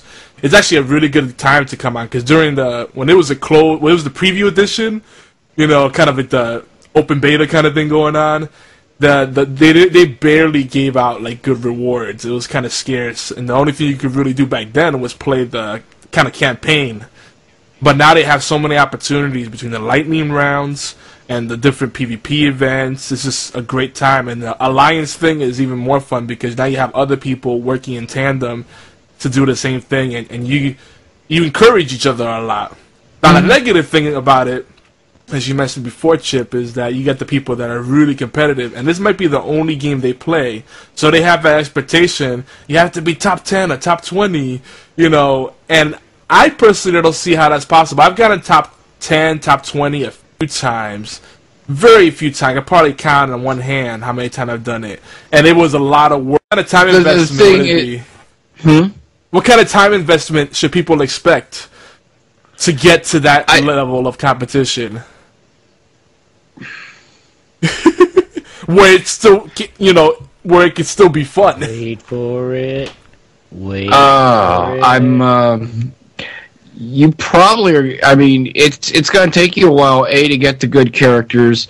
Uh, I would say it's going to probably take you a good and you know you're building up that those characters and you know eventually you make the top 100 and the top 50 you know you were talking about making the how well you were doing. Last week i was i think it was last week's punisher event. Um yeah what i think the punisher event was last week. Um i uh, busted ass on friday and i locked in uh, my score of 1100 guy in first place was at 1300 i was getting hammered because as you get higher up there uh, they start throwing you out to every player to try and a- attack you. Yeah. and basically i was it was getting to the point where i was i was losing more points than i was winning because i was getting attacked so quickly. So i finally broke 1100 and immediately uh, locked down and you know which does cost hero coins but i was like i got six hours to go i'm just going to lock at 1100 and you know we'll we'll see what happens if i need to jump in in the last half hour uh, because i'm close to the two spot or the one or two spot fine uh, but um, I don't know what the hell happened. With less than one minute to go, I was ahead. I was in second place. With the guy behind me, the guy behind me was at least fifty points uh, behind me. Uh, the match ended. The results came in about 15 minutes later, and somehow I had dropped from set two to the top five. I don't know what the hell. I, I was pretty pissed about that. oh yeah, dude, you, you freaking blink an eye and you drop down several places. It's crazy. But I, but I was locked. I mean, if if, if I wasn't locked, yes. Oh but right, there was yeah, nobody with it. You know, weird. and the other guy that was trying to cut, take take over actually lost uh, his last match in the last five minutes because I was sitting there monitoring it and uh, you know watching where his place was going, and it's like okay, I have him by fifty points with one minute with less than a minute to go. There's no way he can overtake me. So I don't know what the hell happened. But um you know, but yes, I think that's part of the mystique of the game is as you start playing, uh, you know, you're not you're going to get your ass kicked uh, while while you're leveling up, but you're going to have that progression where uh, now you're getting a two star character, and now you've built your Wolverine from level six up to level twenty five, and he's doing a lot more. And well, now I got another card for him that adds another ability or enhances uh, one of his previous abilities, and now he's becoming a real kick-ass character. Uh, so I think that's you know that that's what I think is the mystique of the game. But I think it's going to take you some time to get there. Um, I'm looking at our uh, show notes here. Leveling up with minimal minimal grinding. Um, one of the, so I was this was something that one of uh, our uh, alliance members was asking. How, how, how do I get the levels up quickly? Um, the best thing to do is hit one of the versus events within the uh, within uh, the first few minutes that it starts because you can get uh, you will get uh, matches against some very very low characters. There'll be the yeah. featured character and the other two members of his team will be level one, and you and yep. you so you can get a hundred ISO uh, or a hundred points in the tournament very quickly, and probably rack up six or seven hundred uh, ISO uh, within that within that time period, and two hundred isn't a stretch in in these instances. And uh, at the same time, not only are you getting ISO, you're earning uh, additional covers, additional boosters. So it's an it's an easy way to get more characters and get the uh, ISO you need to level them up. I think that's the easiest way. Wouldn't you say, uh, Yogi? Yeah, I like I like doing the lightning rounds because, like you said, uh, yep.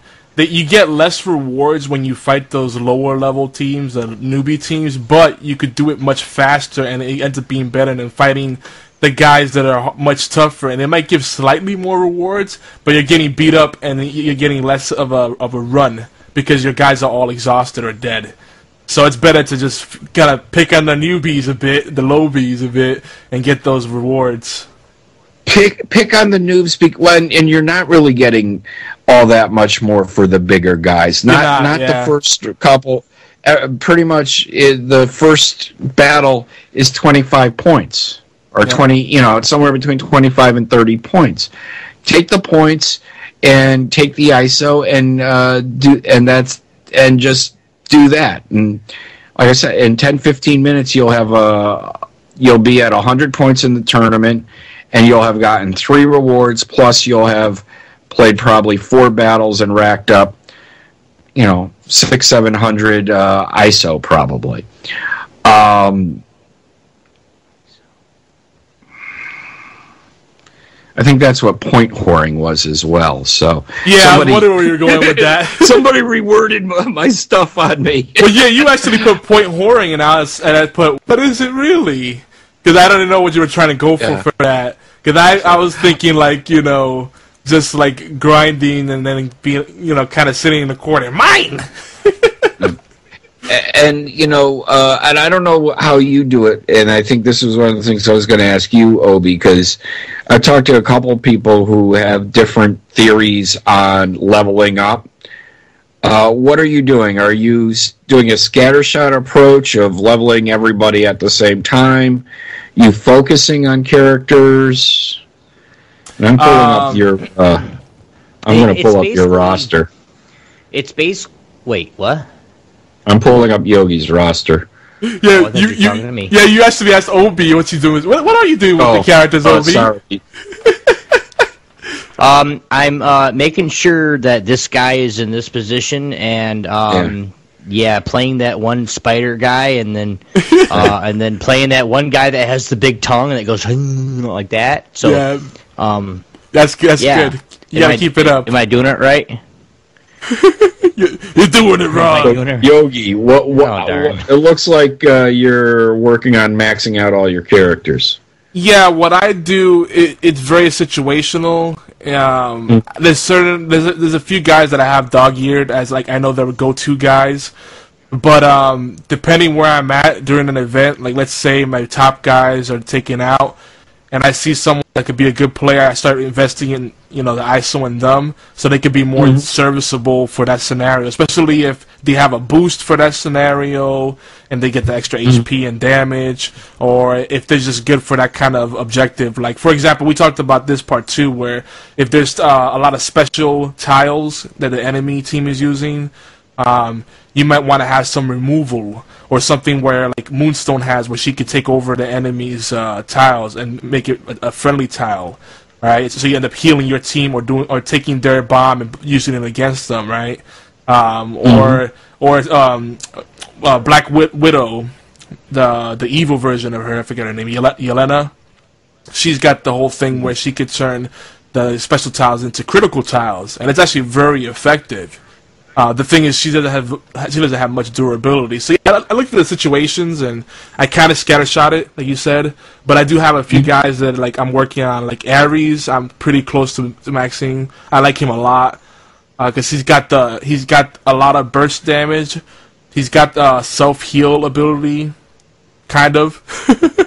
He- like the little suicide attack he does, and then he also has the attack that attacks the entire enemy team. So I kind of like having that flexibility, kind of like Storm.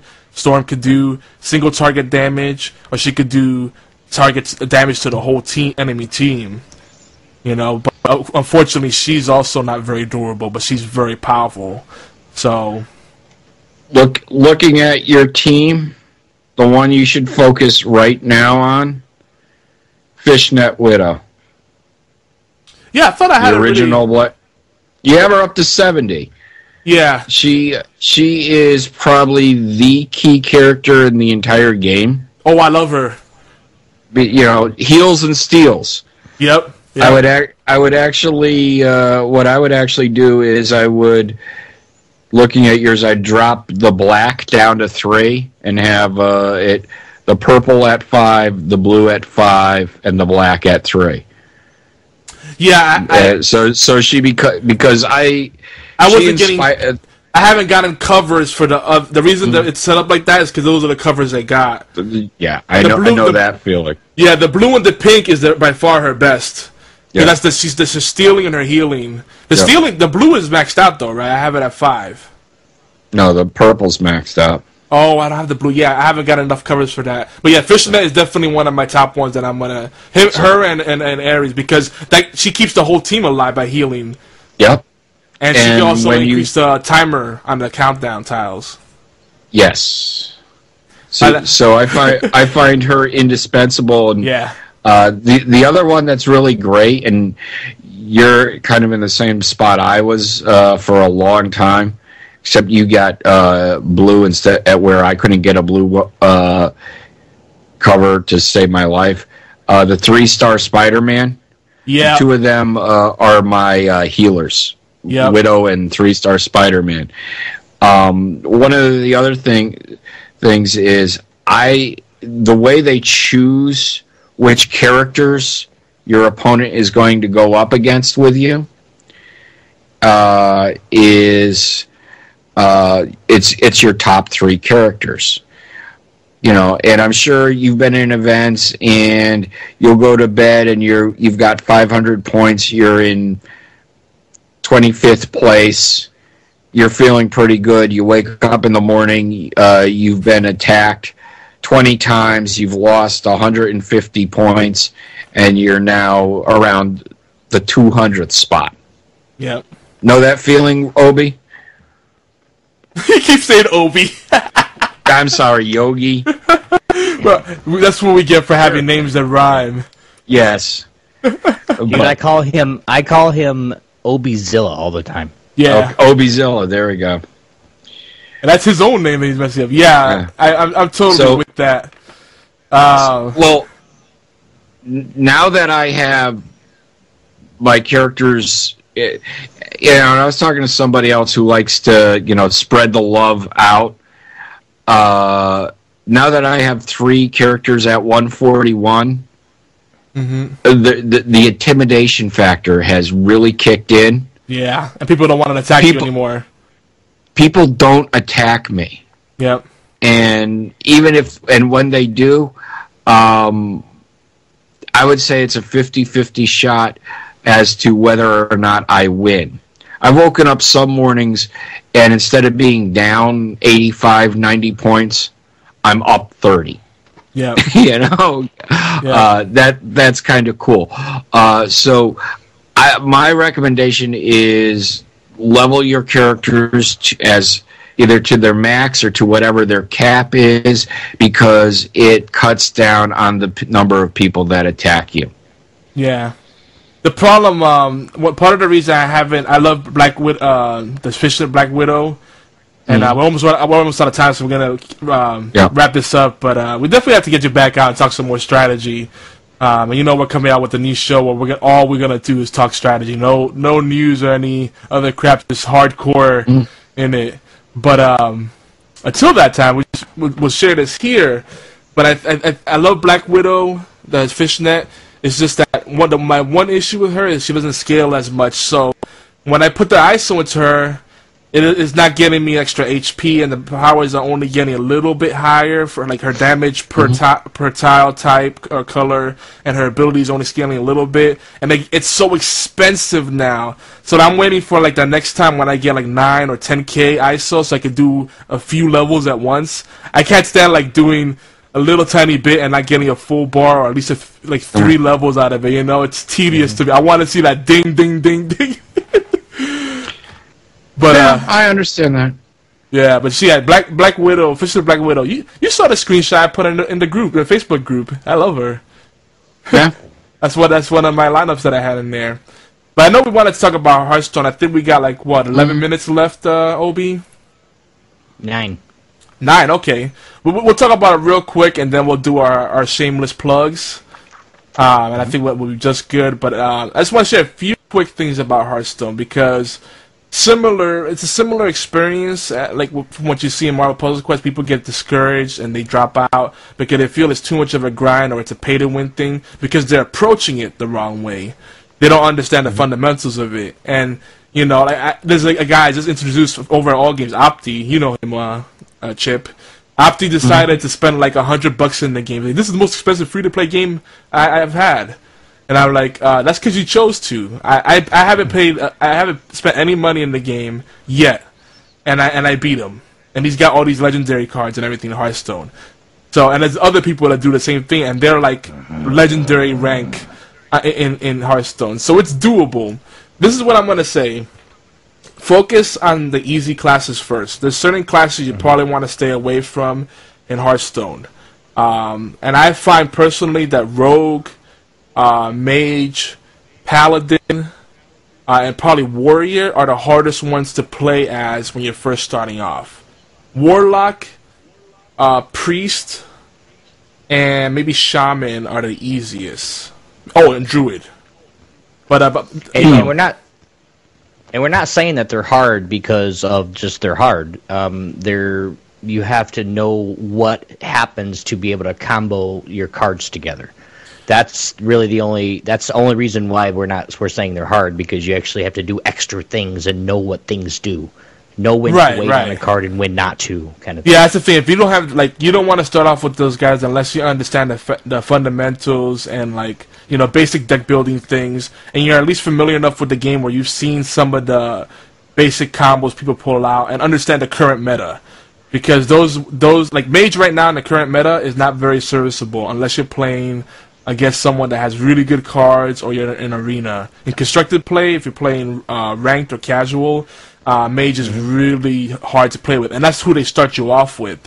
Because with mage, you either had to commit to minions or spells, you know, one or the other. You can have a little bit of minions in a spell deck, but you really need to just go full out aggro and just fireball to the face and have board control if you're gonna do mage. And a lot of people can't figure out that play style. Most people just want to get creatures out and, and then swarm someone and punch them in the face with the minions, and that doesn't always work either. Though aggro decks are very easy to put together. So that's one of the things is, is, is try to try the different classes out uh, in casual mode and just ha- have an open mind about it.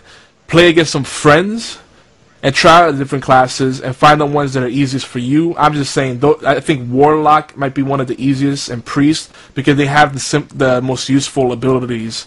If you really think about it, you can heal yourself, buy yourself a little extra time, or heal a creature that you don't want it to die with the Priest. Or with the Warlock, you get card draw, and that's the biggest issue in all these deck building games is when you don't have enough cards in your hand or the right cards in your hand. You get free card draw by sacrificing two life. That's always useful in almost any scenario, unless you're low on life. Um, so you don't have to spend money. It doesn't have to be this thing where pay to win. You just have to understand, find your niche, and then when you, the more you play with certain classes, the more cards you unlock. Once you unlock the basic cards, you get once you have to re- hit level 10 with the class and you get the 10 basic cards added onto the core deck. So that's a total of 20 basic cards. Once you have those 20 basic cards to work with a lot of options open up. And some of those basic cards could do really evil things to even legendary cards. Like uh, for example a priest has uh, mind control and he could take over a legendary card and put him on his side. So you don't own that legendary card but now that minion's your bitch so that's pretty cool. Someone that's spending money in the game or, or lots of time in the game could do pull up that kind of thing. Um, I mean, what else can we say before we uh, try to wrap this up? I don't know how are we on time, Obi. Uh, we got about five minutes. Okay, That's total. so Well, I mean, one of the things I Yeah. just I've learned uh, at this point, uh, and you know, I've unlocked the characters. I have uh, access to the arena. I have no business going into the arena, and that I, the only thing I should be doing at this point is buying packs of cards. And I just find uh, I the the frustrating part about the game is earning gold in this game is a bitch. yeah, and they're You know, working. compared to they're working on that with the expansion that's coming up. They're gonna make it easier to do that kind of stuff. So you, it's not so much of a grind. what- It's like ten gold every three wins. yeah.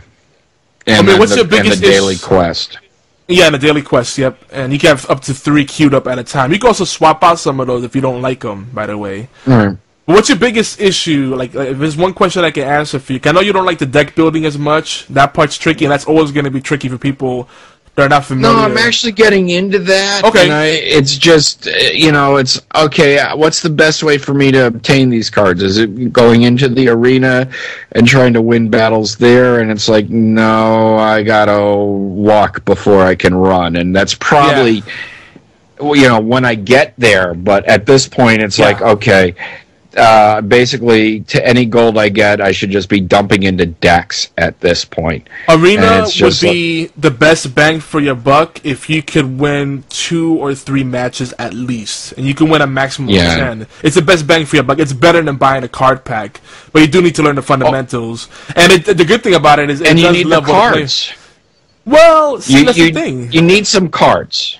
Yeah, I mean, I don't have a lot of cards, and you could craft some of them. Once you find the class that really works with you, like, what are you running, Chip? Yeah. Which class are you running? Uh, Which I'm one are you having the best success with? I'm uh, probably you know I- I'll go against what you said. I would probably say Hunter and Warrior were the two I was doing Oh best yeah, with. I forgot Hunter. Yeah, how could I forget? That's one of the best ones to start with too, because he's aggro. Yeah, Hunter. Stick with a Hunter. Right now in the meta, a lot of people are running Hunter now because he's just he's so nasty. You go with some beasts and a little bit of control, so you can have board clear and stuff, and you'll love the Hunter. And maybe craft uh, Unleash the Hounds, stuff like that. Uh, Hunter's the, a very good way to go. But you know, you, what you could do is um, use Arcane Dust. You could um, take some cards, gold cards, convert them to. Um, You need to earn the you you have to get the gold cards first, Yogi. you get them by leveling up, by just playing the game. Yeah. You know what? Ob- You know, you know. Not Ob. See, now I was going to call you OB. Chip, we'll play together. We'll we'll talk about we'll All talk right. about it afterwards and get deep in it. All right. And we'll probably revisit this because we talk about Hearthstone quite a bit lately. So people were saying, "Is your site a Hearthstone site?" No, not not really. We just love the game. Obi, you have any quick tips? unfortunately, gentlemen, We, we got I don't have any quick tips. Unfortunately, gentlemen, we do have to get out of here. We do have two minutes, so I do want to give out a couple of good shout outs, big shout outs to our new cover on geekyantics.net, to the Death Gaming podcast. The links are right there on the screen for you Gaming guys. death, gaming You death. guys, Gaming Death. I do apologize. That's twitch.tv forward slash gaming death. You guys can check him out at 9 o'clock on Thursdays right before horseplay. So uh, you guys can, you know, you guys can get double dose right out, right? We'll see you guys right here next Thursday, as always. I'm not done doing Shames plugs. I'm just doing whatever. Horseplay Replays is on allgames.com every Thursday around 5 p.m. Eastern Time. We know that a lot are hoping that we'd be uh, we'd be the B team warm up, but unfortunately, it just didn't work out that way. They do have something coming in that's pretty special, I hear, uh, on all games at the 7 o'clock hour right before the B team. So uh, we're looking forward to that as well. Um, regardless, please show love, show your support with uh, especially allgames.com because we love everybody there and how they're supporting us. So we want you guys, of course, as our fans, and even the most of uh, the people that are live with us every Thursday are from All Games, which we that's that's awesome right there. We also want you guys to check out our friends. Whoa.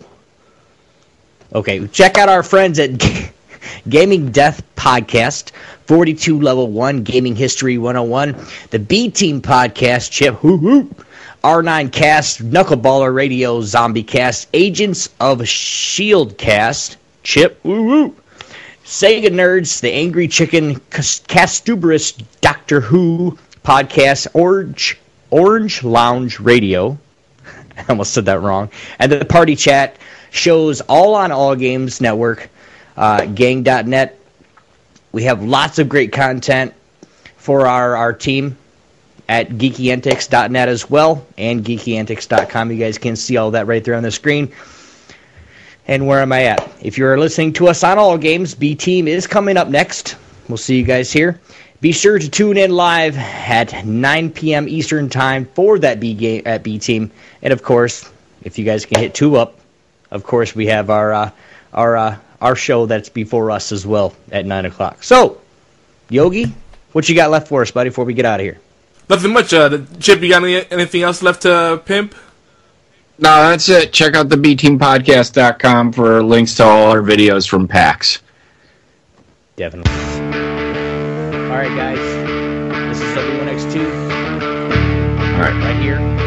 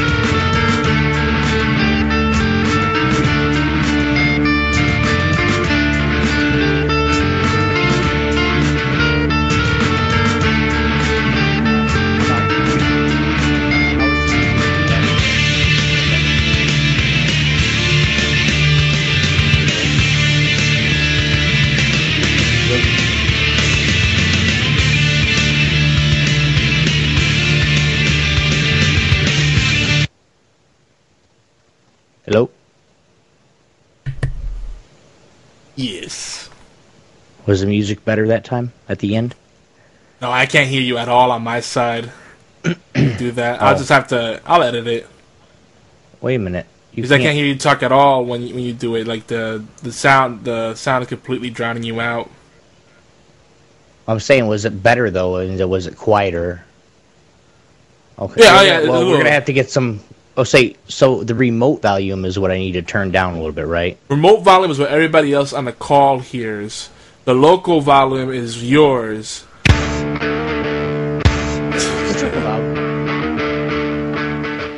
Yeah, that's lower. The only thing is like uh, you probably shouldn't talk while the music's going. Because it's not gonna be. It's gonna be tough for you to fade out the remote and the local volume at the same time. Oh, That's the Okay, thing. Because yeah. you're lo- you're fading it out for your local recording, which is fine. But you know, worst case scenario, I'll just I'll just like uh, oh man. I'll just uh, clip it as long as like I- I'll just pull out the audio track without the music, and then just put the music in myself post production. That's what I did the last one. Do The last the last one was the same thing. Uh, it's Technoax today in the news. what? Technoax. It's today in the news is what it is. Oh yeah yeah. I- just put whatever. I, dude, I, I'm sorry. I'll get better, dude. I promise. I'm just I'm learning more. I don't know none of this, so so basically, I have to have do I have to have the Skype player turned up all the way on my volume mixer, but then it's about fifty percent on on give or take on remote volume. Yeah, so like even though like again it's the whole thing. Even though it Oh. sounds low to you, it's not uh necessarily low. Oh no, it wasn't low at all. It was loud as fuck. But I just I was just trying to make sure I did what you said with the volume control. I was checking with the the stream, and they were all like, "Dude, volume sounds good. Sounds good. It's a huge turnaround." Um, all right, yeah, I would just I'll just let it let that minute sixteen play at the beginning, and then as soon as it's done, then I'll be like, "Welcome back, geeks and gamers. This is Horseplay Live." You know, and then go out through like that. Yeah. how's that sound? Because I what I what I do is I I take the audio, the vocals, and if I need a little few extra seconds, I'll just oh, I'll fade out the, the music and then overlay the vocals, so it's in the background, and not overpowering you. And there's a lot of things that I run it through so that the the mm-hmm. music, the audio levels are kind of balanced out.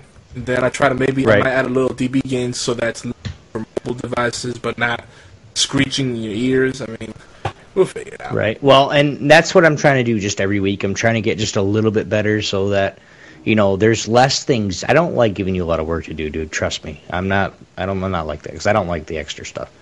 But I, I'm trying to get better and better and trying to get those audio because like this today. Yes, do I hear a bunch of white noise and everything? But it didn't fucking bother me. It wasn't on you or it wasn't on anybody. It was just, it's just everything. I don't know if it's just because, like what you said with my headphones. I gotta have you know the I'm getting some next week. I gotta get some money, but I'm getting some bosses, so I hope those are actually good. So It doesn't need to be Bose, typing it are loud. those- No, no, my I'm getting. There you their go, he's back. So I'm still I'm still recording on uh, Okay. that side because uh, the, the extended cut because I, I was disconnecting like crazy for some reason Oh, on my side, but good thing we have two Sorry. we have two records to be safe. oh, I know, I know all about that. we we have backups to the backups on the B team. You gotta do it now you never know who's gonna drop out. Yep, Audio quality crazy. yep. But uh, yeah, the thing is Hearthstone. Now that we can just talk freely and I have about the two-hour time slot. is uh Yeah, and I need your guys' names because I'll add you in here because I have nobody's name. I have no friends on Hearthstone. Uh, let me show you. We have a thing we're doing where we're sharing.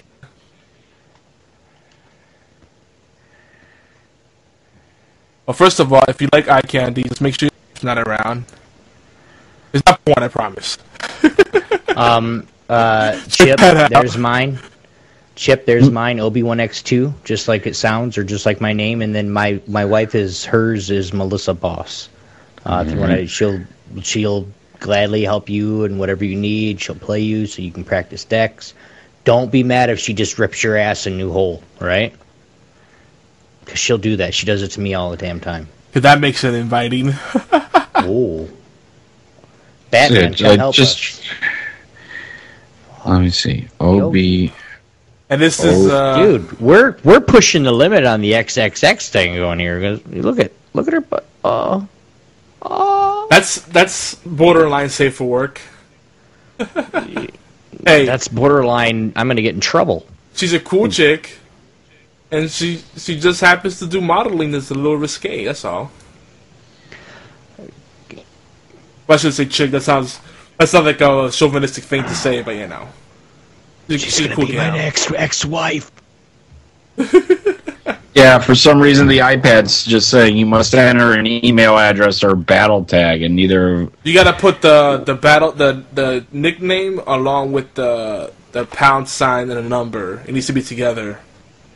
Battle.net's really weird. Oh, okay. I'll get my wife's for you, but mine's uh, OB1X2 1894. OB1 X2X. And then it's hashtag. Here, I'll just put it in Skype to you. Yeah.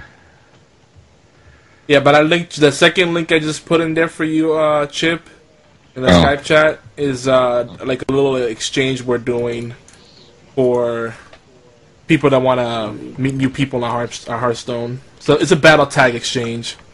Alright. If you want to add yours in the comments. That would require me to know what mine is. Can I have your number, little guy? Mm, please. Let's try that. Are you the paper boy? Let me uh, cut the recording off right here. Thanks for tuning in, guys. And, oh uh, shit, we're still recording. Oh, yeah, it. This is just the uncut. It's just random stuff. I I don't think I'll even be able to upload this one to YouTube because I keep getting disconnected. My internet's like really stupid tonight. Yeah, But uh, don't forget, crazy. come to geekyantics.net. Good stuff over there. You can go visit allgames.com and uh, the bteampodcast.com. That should cover all the bases. And uh, Peace. yeah, yeah, yeah.